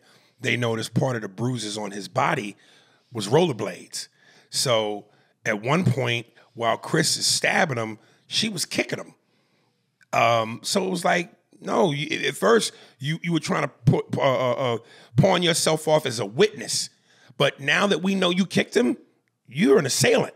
but if she was skinny dipping and he started slashing him, how does she have her rollerblades on? So he's he, she's hitting him with the rollerblades. I guess. See this this whole The rollerblade marks were on his legs. Yeah. So I, I I think this is a different story. I don't think the whole But you don't buy her being completely innocent. No, no, I don't buy her being innocent at all. I think it was all manipulated by her. Uh, I, I think that. I, I, yeah, because we're talking about someone that they're talking about. He he never he never turns on her. He never says anything about her the whole time. Right. Um, and then she also ends up getting going to, going to jail. What was what was her sentence? She got out early. Yeah, she they both well he they, well, because they were minors. Yeah. They both ended up uh not serving. Only three years, I guess, each. Yeah. And then uh, she ends up having to go do her full time afterwards because she had she still had problems. She she she's a problem. Yes. Um and to hear the main prosecutor and you know they they they interview Mike McCarroll's brother who was of course pissed off because he felt like how is this justice? And to hear the main prosecutor in this say how difficult he used the word difficult how difficult this case was going to be is so disheartening in the name of justice. So you can have an actual body that's been dismembered a gazillion times cut open and have their intestines poured out and this is difficult to prosecute? Well, you have, like he said, you have to can't just prove that they. She had they had to prove that she was there, that she was a participant, not just there, right. Because otherwise he went crazy and there was never an intent for anybody to be harmed, and then she was just a- an innocent bystander in this. right But that's why I'm saying this. It was so man, it, he was manipulated to go to where they killed him with the beer. Come and have beers with us over here. Took him away from uh, anybody else that was there. Had them away. That wasn't done by him. That was done by her. yeah She's the one who manipulates things. He doesn't. He isn't that. They never said that he was like the smart guy, the mastermind guy, the guy. This is this is her mo. Is is pushing people's buttons, moving them around. right So yeah, she was definitely. It seems from the story, the way that it's told, she was there. The way that it went in court, she was there. She she was a participant. She was beating him uh, at the same time as slashing him. When she says and she admits to saying, "I told him to cut the stomach open so that we could drown him." So that they wouldn't find the body, and she said it in a way that she was saying she was trying to protect him to get rid of the body so that he wouldn't be caught. so had she not called the police and made the call they'd have got away with this I think so. wow because the blood evidence is going to be washed away unless there's some of his blood that they find. Right. But but he doesn't. He's not in the system, so they're not going to catch him from his blood. right He's a 15 year old kid, and these this he's a six what what they say six something six foot Mike McCarroll? yeah, yeah, big like big six guy. yeah. they're not going to think two 15 year old kids Right. so I think they would have got away with it. I think that th- they she this is part of the manipulation though. She's overthinking it. Now she's thinking well they came they saw the house they saw the blood they asked us about this. We have to come up with it and I'm going to get caught so I'm going to turn him in and I'm going to say it was be self that he did it because he was trying to protect me. Okay there we go. There's my story. And she was trying to get ahead of the story and she didn't care really. Again, the moral of the story: shut the f- up. Uh, episode uh, three. Uh, an office building in the financial district becomes a 26 floor crime scene when a beloved mother and janitor mysteriously vanished without a trace. The woman's name was Herediana Rodriguez. Um, they brought in the one detective. In, in, in this building, they say there's, I forget however many cameras, but they brought in this one detective whose sole job it was to just look at eight hours of nonstop security camera footage. Um, That's what he does. This That's is what he does. And it ain't just one camera of eight hour footage, it's several. And I'm just going, and the dude even said, I have a passion for this. I just put on my heavy metal Steve music and just look at a blank screen for eight hours until I see something. that stands out, How do you, what, what, what, where do you develop this passion? and that's a skill set, man. Yeah. Yeah. There's some quirky out here, man. Yeah. Thank God for him. But and that's that is this one was like a David Blaine, uh, the magician, Yeah. kind of thing. Because this woman goes missing. Uh, she never left the building. There's no footage of her ever leaving the building. And this woman goes missing for almost 48 hours, I think. yeah, over forty eight hours. Over 48 hours. They can't find her. They can't find her. And they search the building, send it dogs sniffing shit and all of that. Um, and here's again where I go, this it's part smart detective shit that I go, how did he notice this? But then it's also me going, the guy's a dumb criminal. Uh, the fact that the detective and and and just so you guys know, uh, what was the guy's name? Jason.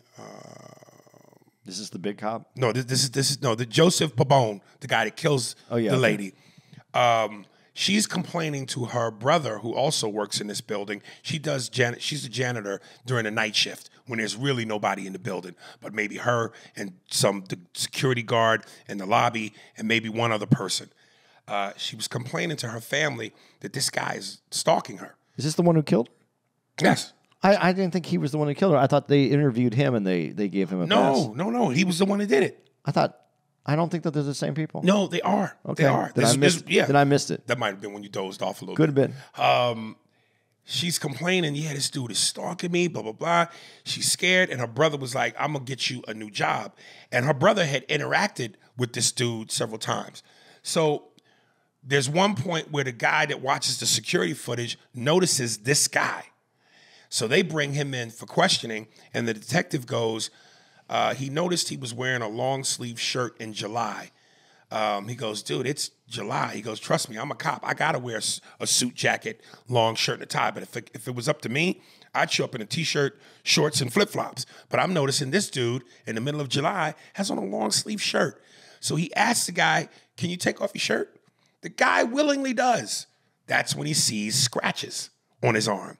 Then he goes, Hey, you mind if we get some DNA off you? The guy goes, Yes. So between, first of all, I'm going, What made the detective make him take his shirt off? Because he noticed July and I wouldn't have thought to do that. Yeah, but I love the other part about this. When he get his excuse is that he helped somebody unload um, some some, Some, some, some, uh, some uh, metal like- stuff from his. Yes. But union wise, he's not allowed to do that. And the, so he, but I love the detective goes, well, aren't you in union area? And so you know the and, and union guys, if they have a job, they can't do the other job. Right. You have to stick to exactly what your job Right. is. So once he said that to him, he had him. As Right. far as that goes. Um. so my thing is okay again the, the the the instinct of the detective to pick up on the shirt thing. Then he sees scratches which of course insinuates a struggle. This woman fought for her life. Why would you volunteer to take your shirt off knowing you got scratches which is why you put the shirt on? Then why would you volunteer to give dna again you're telling on yourself Yeah, but I think that if you don't take it off, then you look you look there's something they're Okay. gonna, they're going to try to figure out. Okay, but don't they have to then get a warrant to make you do it? And in that time, you can leave.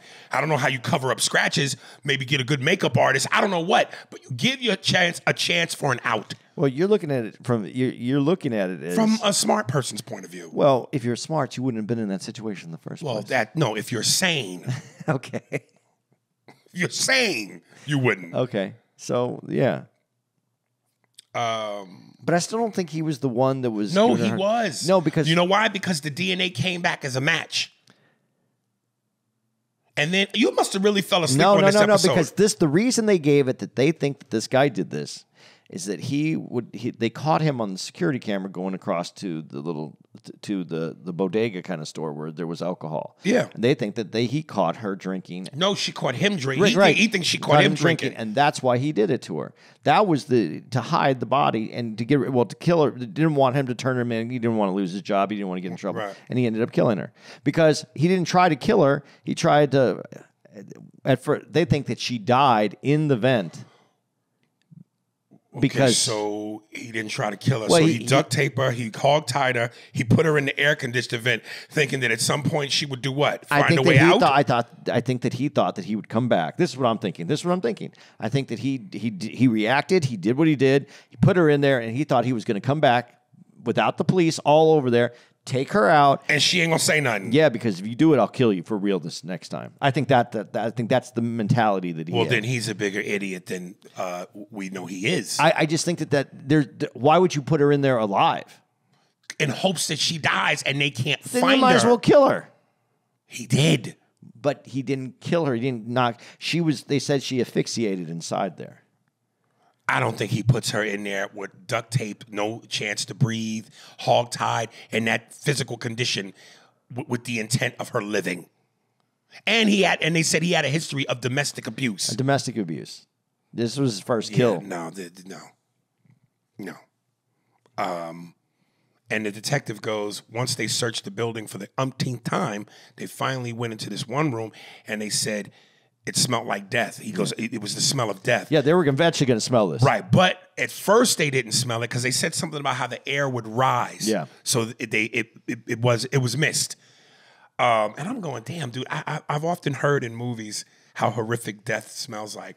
I wonder what that smells like. You never smelled anything dead? before? No, Really? no, dead. Yeah. like what? Oh, a piece of meat. Like someone left some uh, uh, uh, raw meat out and it, and it spoiled. You never. Where am it? I at? with somebody left raw meat out? Well, other than my house, if I leave raw meat out, I had a roommate that went to go uh, throw some meat away that they said that they didn't use it before the expiration date, and then they put it in- in the sink underneath in the trash, and then didn't take the trash out, and then you know it. You don't take the trash out, But so I, it fills am up. I'm quite sure a decaying body smells ten times worse. I'm sure it does, meat. but just a little raw meat smells heinous as can be. Uh, my last note on this, uh, they said, and this is where I'm going back to my guy Joe King. They said when she was found hogtied and bound in the air conditioning vent, the crucifix that she wore around her neck was shoved into her mouth. Uh, and I'm going, so wait a minute. She wore a crucifix. She wore Jesus around her neck. So what she believed in didn't protect her. It was shoved in her mouth. She was a believer of faith, and that was her ending. So, Joe King, if you're listening, I'm asking you, why is that? Because she chose Satan. This is the on. This is why I'm going. This is unexplainable. It doesn't make sense. And if you can maintain your faith through all of that, well, then you're a better person than me. Well, Because I'm just going, you got Christ around your neck. It's shoved in your mouth. And nobody, the, the powers that be don't protect you. I'm going to tell you exactly what he's going to tell you. Because she got to die with Jesus. Oh, She, he was the Satan that took her out. Jesus doesn't say that he's going to uh, uh, allow you to live past Satan. He's going to be there for you to keep your spirit together when keep Satan. your spirit. So as she's hogtied in an Yep. air conditioning Yep. vent, which I could believe is so painful physically because of the contortion of your body, And you're gonna- you can't breathe, you find peace in what? in Jesus, knowing that you're going to get to go see Jesus. I'm, I'm, I'm just telling you, that's what he's going to tell you. Do you agree with that? I don't know what I agree with. I'm going to be honest, I don't. All right. Uh, well, and I and I can say that the Jesus thing is probably off the table for me. Right. You know, as a Jew. Oh, here's the episode that I can't wait to discuss. This, this is where Andy's passion lied. Uh, episode four. The shooting death of a successful entrepreneur remains unsolved for decades until a tenacious assistant DA and a driven detective re examine the case. The husband's name is Howard Pilmer, and the wife's name was Roz Pilmer. Long story short, uh, he also was uh, a, a- a gazillion times. Um, and the killer was his wife and her brother. Um, and I love how we, Andy and I were in the airport, I think in Minneapolis. And I said, Yo, what'd you think about that one? it's like I couldn't even get the words out. You went, Dad. I was just as mad, dude. I was so mad because you know why? I, I'm going to tell you really why I was really mad when I think about it. As we go through the story, this is his girlfriend from high school that he marries. Right. You know, it, it ruins love for me, man. You, you, these two innocent kids get together and they're gonna, and okay, so what? You f- someone else. You say, I'm not saying her. I'm just saying in life, f- someone else sucks someone else's. You get in a divorce and you move on. Your life is hor- life's horrible for a while, but you get to you you you reestablish and you come back. Nah, this isn't even that story Right. this is this is like like I, I saw I met you. We're young. I, I fell in love. You're you're everything, and then me and my brother are gonna kill you. That to me is I don't know what what it was in me, but it just it it, it, it gutturally it just I, it's it made me so angry. Well, let me jump ahead to, and not saying that this is a reason to kill, because of course there is no reason to kill unless somebody's trying to kill you. But my question is, did she do it more so for the custody of their kid, which she said uh, was a big deal to her? That if they got divorced, um, one of them was going to get custody, and her. And what was, was was what was really cool and heartbreaking is the dynamic between her husband, his father, and his son. The three of them were like a unit. You know, the the, the father loved his son the, in the way a father Yeah. could Yeah. love a son with all his passion and shit. and he loved his grandson who was a kid at the time. So my question again becomes did she do this for the custody of the kid or was it more about the apartment in New York, the ski home in the mountains, the, all the businesses and the insurance money? Money and control. It's it's also the control. I, I don't think she ever for the what I felt um, from a little bit of the story is that she didn't ever feel like she had control. It was all you know. It was his business. He they they he started this. The father. It was the father's business before, and he added to the business. And she was just the wife. And I think that she worked and she wanted to. I, I think that she felt smaller in this and the, i think the control and if you're going to get divorced and he's going to have all this money and he you you worked with him you did you, however you supported him and now he's going to go out and i'm going to go away and he's going to have all the money to get the, my, my kid and he's going to have everything and i have nothing i think that i think that's that's the thought process you know, sometimes, and there are women who just want to be the wife. And the more I'm older I get, the less I care about control. I just want to be the husband. Oprah. you know? Is Barbara Walters still alive? i don't know I think she is. I'll be the husband of Barbara Wawa. yeah what about whoopi Whoopi too. you, okay All my standards are going are leaving. All my standards are quitting, nigga. Um, and I go, dude, you, you you have to be a evil, a real evil. You have to have a real evil running through your veins to be able to repeatedly stab someone, seeing them in pain, and the pain on their faces and the squirming of their body. Will you just keep going? you know Oh my god! You see, but see, this is what's funny to me is how you said you have to be a real evil. Per- That's how they know that it's someone that knows them. The police, when you see someone that's over and over like that, like this, that's from anger. That's from uh, that's a personal anger, not I want to kill you because I want to take what's yours. That's a different kind of that's a different kind of anger. You have to have a different kind. That, that that's controlled anger. You, you're gonna. You, I'm gonna. I'm gonna. Ra- I'm gonna stab you, and I'm gonna take what's yours. But what's the difference between? Because I'm sure there's just some sick out there who stab Oh, yeah, you. yeah, yeah, But- But, then my question is, well, what's the difference between the person that knows you that does that versus the sick that does that? Because aren't both people sick? Yeah, like but but what it is is one person is is is so mentally ill or a psychopath that they they they that's the, they have that ability to do that. But what it is when uh, someone that loves you or hate you, but love hates you, that they you take them to the you take them. They, I shouldn't say that. They've taken themselves to the extreme where they have they feel that same thing that a psychopath is, where they just they're getting that rage out. They're just taking it out on you. They say, they say when those the, the, murders of these passion, the murders of passion, murders of uh, of, of a husband and wife, that they're brutal and bloody, and because th- that's where all the anger, all the rage, and once that first, you know, you've taken that person out, and everything that you felt, everything that you've had for whatever amount of years, comes out, and how you what you do next. You know, you use the proper word here, and, and, and I know sometimes comedically I throw this word around to be funny, but there are other times when I'm saying it and I mean it. Cunt. Dude, when they, one of the cuntiest things she did that pissed me off was when they showed her on the secret camera footage that they set up, ripping the posters down. Uh, like police put up any information leading to her husband's killer, call us. Said when they show her the way she rips the posters down with such venom, and that's one of the red flags that made the police go, okay, we need to be looking at her different because wouldn't you want the killer of your husband to be found? Yeah. And her excuse was, it's bad for business because you're hanging them up near the business, the coffee shop, and it's just bad for business. And even the cop goes, How, isn't your husband's killer being found more important than the, business? yeah. So uh, I'm sorry to keep beating the dead horse, but the through line seems to be these criminals give themselves away. They do things to incriminate themselves. I know the detectives are smart, and again, the instinct and the intellect, but damn, these some dumb motherfuckers.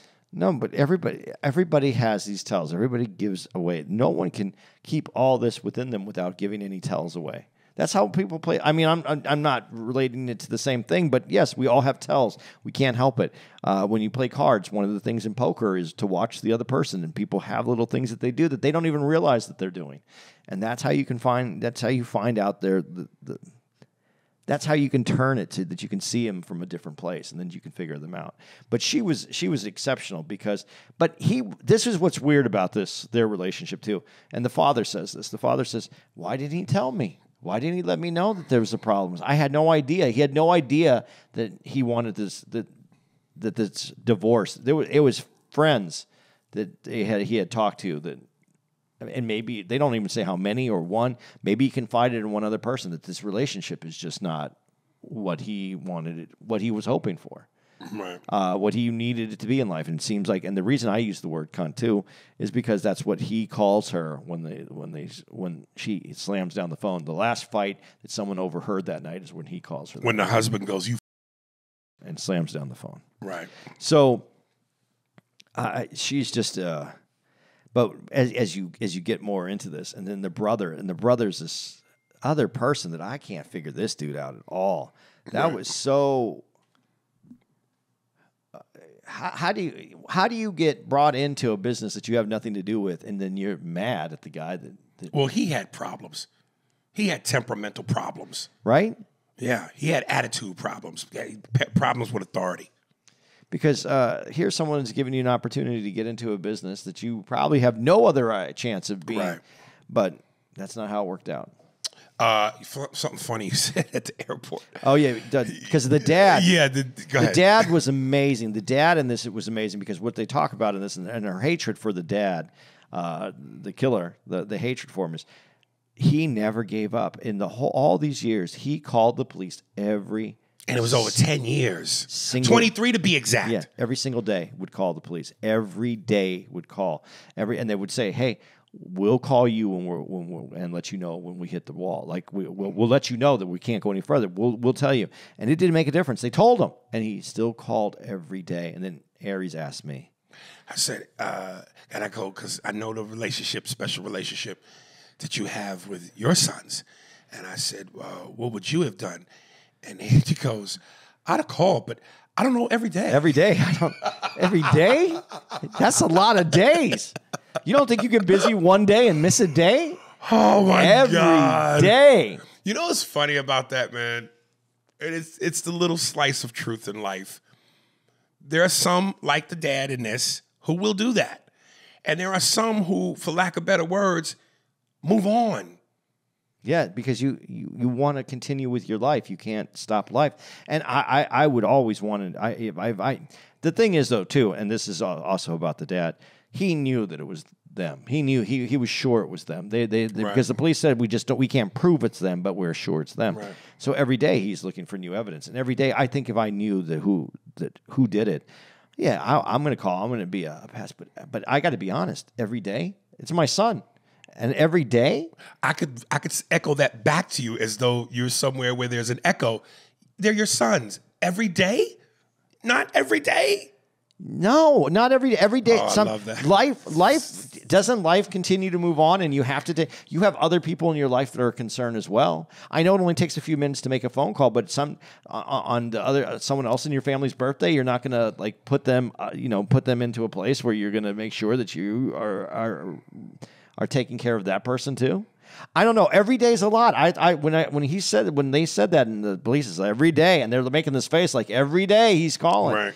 And that's one of the reasons they got to the conclusion of this case. But I mean, honestly, for I, I love my son. I love both my boys. I, I I love Tara, but every day, You know, it'd be crazy if your boys went missing and they was missing for like eight years and finally they resurfaced and they go, Dad, didn't you try to look for us? And you just like, Yeah, but not every day. hey, Listen, there are so many cunty moments, and I know some women get ugh, cringe when they hear that word, but this woman deserves it because there's so many moments that are just. that- it- What part of what helped them seal this case was they brought in the babysitter from back in the day, and she's damn near like a full grown woman now, and they interview her, and she talks about the moment where she's talking to the the, the wife, and she's saying basically asking her, "When are you coming home?" And she says, the wife, we're not done here yet. yeah, The night of the murder. So she's saying to the babysitter, we're not done here in reference to, of course, not letting her know that, but yeah, we're busy killing my husband. yeah, and and Wow. he she leaves a message on the machine. yes, I was going to ask you, was the message too detailed? Yes, way too detailed. But you're trying to cover your tracks. You're trying to put everything on there. This is why I say, you know, everybody, and, and this is also another sign of a control person. She's trying to put everything down. She's trying to control every situation. She's looked at it and she's controlled every. set. But then when the cops look at it, they go, "Why is everything in this situation here like this, laid out like this? Because it doesn't make any sense. That's not how you talk to people."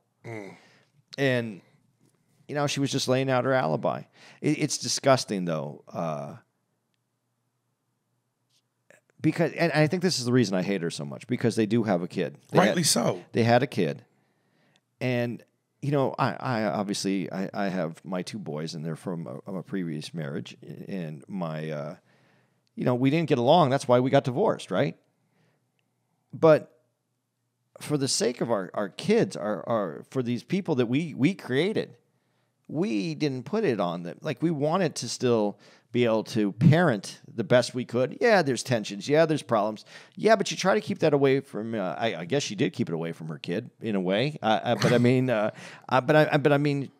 We wanted the other person. I, I didn't want them not to have a relationship with their mom. She didn't want them not to have a relationship. This lady was just to remove him com- completely. Not only to remove him completely, remove his family from him, from the the child completely. This is going to bleed into my next to last note.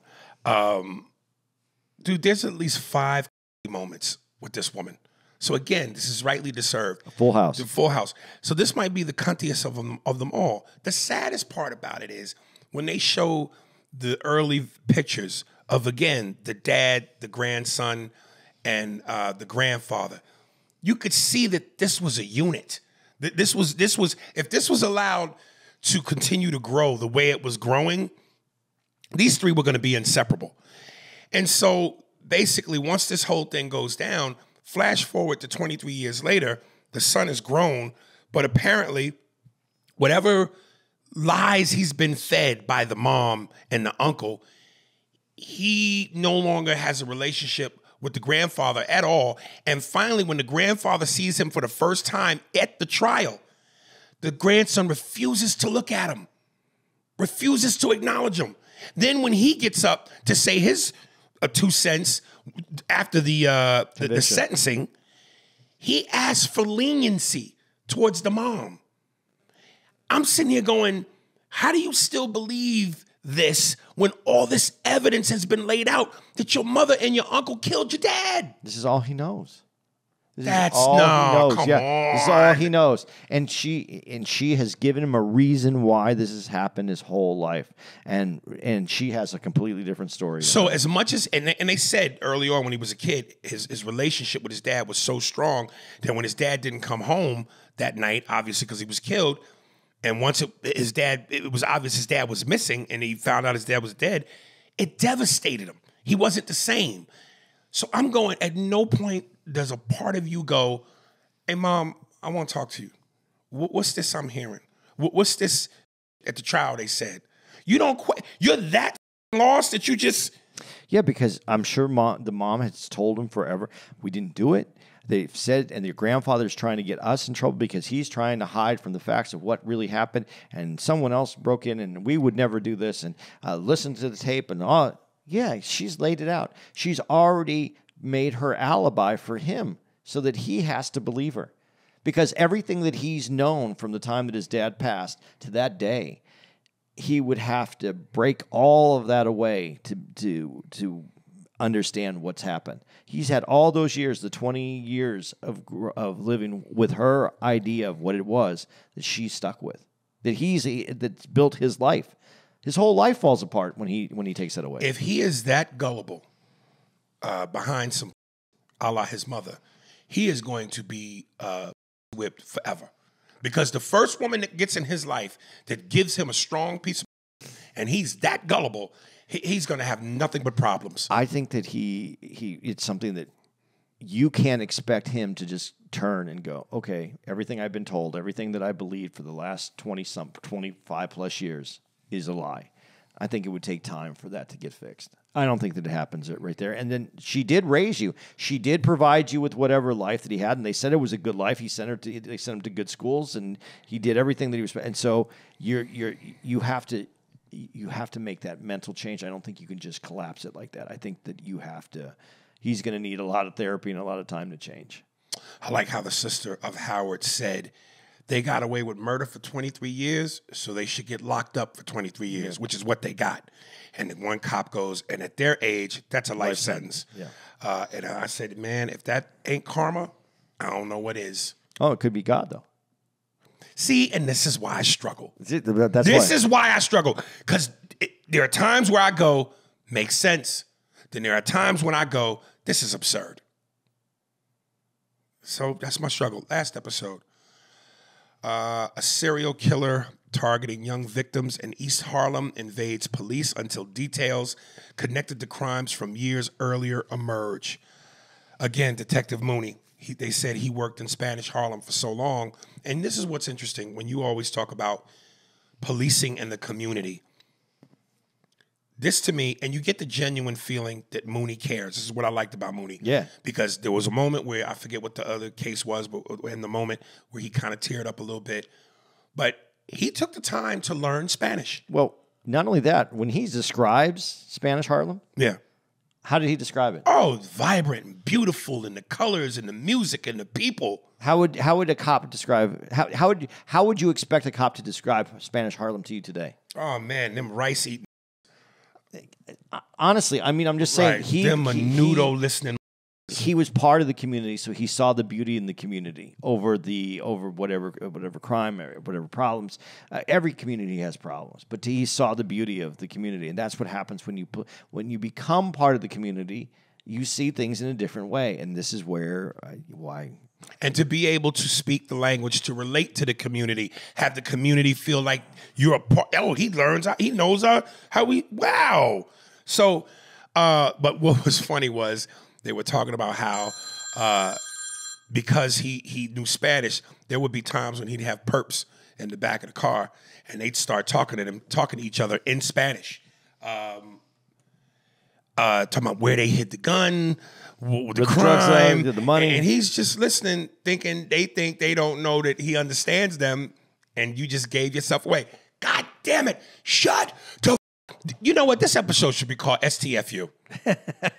Shut the f- up. Because in every one of these cases, if criminals would learn to be quiet, it's the reason why their lawyers say, your lawyer tells you, don't say nothing without me present. Well, Because you give yourself away. That's exactly what you're supposed to do, though. You're supposed to just say, "I, I, I just get my lawyer," and then you. They, they, they said there's, they, they said this thing like three times. They don't even call your attention to it, but they say it three times. He said, "Yeah, we didn't have the opportunity to uh, interview him, and we need that opportunity so that we can get information, but we didn't have that opportunity because he, he requested a lawyer." Right. So what they're they they have admitted that's what you're supposed to do. But everybody wants to unburden themselves, and everybody feels that they can they can tell you and make you empathetic to their situation, and you'll understand, and they'll they'll they'll be in a better position. There were several moments in this where the cops would go, we would talk to them, and if as they're behind the the, the mirror that that you see on all the cop shows, other cops are watching other cops interview them, and when they could kind of feel like the interview wasn't going their way, they would strategically come out and another cop would go in purposely because they felt this cop could soothe their tensions and talk to them a certain way and get the information. Dude, I'm telling you, maybe it's because I've just seen too many of these shows. You stop with the tricks. I know this what this is what this is. These are cop tricks. The classic good cop, bad cop. I'm not talking to you. That's the, I'm not talking to you. That's what you're supposed to say. Um, No, I, and, and when I say that, I mean this in. in I, I'm trying to be sincere. I'm not trying to say this. I know you're saying it is if you're if you're if, if you're doing a crime, don't talk to the guy. In in there's the the in the one before this, uh, the episode with that we uh, that I would like to call the the content. we got several good names for this. uh, in that episode, the um, the babysitter uh, wasn't living uh, and had left the country to work as I, I don't know what she was working. She was working outside the country. She came back, and the police wanted to interview her, and she said okay. And then they met her, and she had her lawyer with her. Right. She didn't do anything wrong. Uh, she just knew, as as a human being, that the people are going to ask you questions, and to make sure that you uh, don't put yourself in any kind of jeopardy, because you don't know what uh, the intent of the people that are interviewing are. The people that are interviewing, they have their own agenda, and you bring a lawyer to make sure that your agenda matches their uh, their agenda, Right. and that it's not going to get it's not going to sideline you or put you in a bad position. So even her bringing that, and they said, "Oh, what's this? Why would she do this?" But th- there's no animosity towards that she did it. She did the right thing for her, which was to, you always should be protecting yourself. So when you have an issue and you you should have representation. to skip back just one beat uh, with the two teenagers i never heard of that thing queen for a day. Yeah. where and, and because her dad had so much money he hired one of the best top lawyers in the city. This guy was like a uh, johnny cochran. But when they when she went in for the queen for a day he didn't go. He sent a, a way low lower level attorney on his behalf and that's when she herself. But let me let me get back to Yeah. this one. So on this one basically there's this guy who's raping and murdering a serial murder rapist, young girls, uh, all within the ages of 15 yeah. to 17 or something like that. Um, so, and you know, he even one girl he even burned on the roof. He set on fire. Uh, and I just said, man, I truly believe if you, if a loved one of yours is murdered, as a tax-paying citizen, you should be allowed to beat the perpetrator up for three minutes. That to me is justice. And on top of the sentencing and the going to jail. I, I just, because when they talked about the one Hispanic girl, um, uh, Pa should have wrote her name down, Paolo or something like Paulo. that. Paolo. And you just see the footage, the video footage of her playing in the snow. And I just, again, as a, as a dad with daughters, especially my youngest, I'd lose my mind, man. And there are several moments like where Howard's father had said, I could just imagine the how scared he was. The brother of the lady in the vent, I could just imagine how scared. That to me, and I've said that when we did the interview with the preacher, the, the terror, the thought of their terror is what breaks me down. To, to know that you're going through terror and your life is being taken from you and no one is helping you, especially the people that you call on. So I, I just, I, I think you should be able, like a purge, you got to be able to put your hands on a motherfucker. And I know they say, you know, that won't bring your kid back. Just like that the saying money don't buy happiness. I disagree with that saying too. It may not bring my kid back, but it's got to give me something. Well, it's what it gives you is that you know it's not going to happen to anybody else's kid. That. What it's going to give me is I want to put you through the kind of pain you put my loved one through. I don't. I'm not saying I don't give a about it not happening to another kid because that is a good thing. But I want you to feel what you made her feel, my kid feel, my my loved one feel. Yeah, I think that's fair. yeah, but it, when people say it doesn't bring your kid back, it, it, it just takes you to that person's level. Ah, so what? I'm I'm not trying to say one way or the other. I'm just saying that's what it does, though. Match your comp. You you, you play to your competition. Um, and you know it's funny. Uh, my last two notes, and then we're done. Uh, it- the the funny thing was, it's crazy because some of these criminals, man, as as brutal and as up as they are, and even the cops have said this, show a high level of intelligence. Like there were moments where I, when I watched the Ted Bundy thing, where they were like, "Yo, he was a smart guy." They talked about this guy and talked about how the way they got his DNA because they had set up a camera and they were following him and they put a camera on top of a door sill where he would constantly in his apartment building enter so they could see when he would leave and come and go and follow him. At one point, he got wind that it was a camera and he removed the camera. He knew it was there the whole time. Right. They, they said that he just was he was very aware of what was going on, and I love how they do get. Are you going to get to how they do? Yeah, how they do get him is uh, he's locked up, and as they feed the prisoners, uh, he he took a drink from a cup. So they said that uh, I guess one of the cops went to one of the guards and said, "Give me all the cups from all the people," and they didn't find the DNA. But so with the They found it, but it wasn't in the in, in, in the cup that they thought was his. So they found out that he basically went to an inmate. He was making so much noise, he kept banging on his cell that the one inmate next to him was like, "Dude, what can I get you to do to shut the fuck up? Stop this noise." He goes, "Hey, let me drink. Let me borrow your cup. Let me have your cup. switch cups with me. Switch cups with me." So they switched cups, and that's why they couldn't. But then they found out. So I'm just going again. I, it's it's almost like in the movie Bronx Tale when when when De Niro says to his kid, the, the the worst thing in life is wasted talent. Like if you're smart, you got a talent, man, and that's what you choose to do. Yep. He also had he he said to to his girlfriend at the time there's something wrong. Like I have a sickness. Like I can't stop it. Like he he knew that he had a problem. Right. Listen, there, there's smart people who do this. You brought up Bundy, but this guy, this guy in particular too.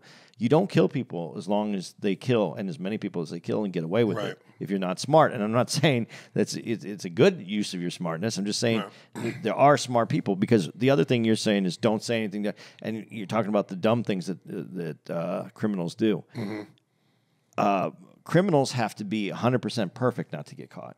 Right. They only have to f- up once. Right. So it's hard. You think about everything you do. Uh, to- think about your night. You f- up a joke every night. Every night you. I should have said it a little bit like this, or I should have Right. done. That that's that's that's their life. But one one misstep puts them in prison, or uh, or or uh, a lethal injection. So th- they can be smart, but they can't make any mistakes. There's no there's no margin for error in that in, in what they're doing. So there there are some very smart criminals. You just th- these these people are not, uh, they're not. It's not all passion. It's not easy. These the police that you said played to the level of their competition. That's why these these detectives that we're looking at they're smart. They're they're they're at that level. They have, but that's They're smart, but they get a lot of help from dumb criminals. Yes, they do get help, but but to have to go there, you know, when you say play to the level of your competition, these these these detectives they have to go there mentally. They have to go there to be able to catch these guys. They have to think like them in in aspects. They- That's a, that's a, that's a tough job. you know, last thing. Um, so how they finally get this dude is once they put him in an interrogation room, the one cop is trying to get him to talk, but the dude's not giving up nothing. So at one point, the guy's actual girlfriend goes in and they, and they, and they say, she says to him, Boo, what did you do? And that's when he spills his guts. And I'm going, okay, so you know you're in the interrogation room. You you purposely are not talking to the cops so you don't incriminate yourself. Your girlfriend comes in, and because it's her, you spill your guts. But you're in the interrogation room. You're in the room with the glass. Have you not watched Law and Order? Have you not seen First 48? You know there's somebody on the other side watching you and listening. Yeah, but see, this is the this is the funny thing about this guy, and this is what this is where this is the, the details. When they talk about when they arrest him in Miami, he leaves New York, goes to Miami. They arrest him in Miami, and they bring him out, and he's crying, and he looks at the, the, the guy, and he says, "I'm sorry." Yeah.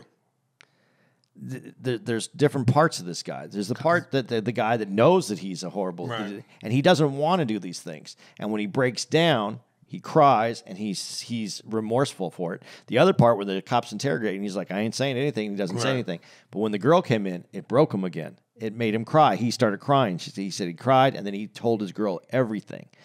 There's the two parts to that guy. And then remember, the female detective goes, Can I get a piece of your DNA? Pull his hair. He goes, Do what you got to do, ma'am. Uh, okay. Well, they're going to get it anyway. Right. So it's you, but you you can once you're caught, you know you're caught. You're caught, man. You know you could try to get away with it. I don't know. I- you- the- I I I understand what you're saying, but there's there's moments when you know that you're you're caught. Well, I'm gonna tell you something. As a mastermind criminal, criminal, I'm 49, uh, and I've been getting away with giving bad for at least 28 years. nigga. so I don't know what the slip is gonna be for me, but I've been getting away with giving away trash for over two decades. Now, see, this is where Nary could have got you. Yeah. When you are famous, you can give away some trash Right. because they got the famous. They Right. care- they weren't looking for the. the- And if it's really trash, they got the infamous.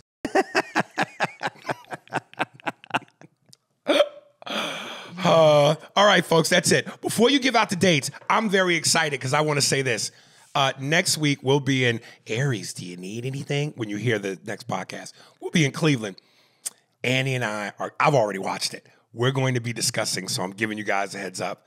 Relax, get to it, something, something, do it. Wham!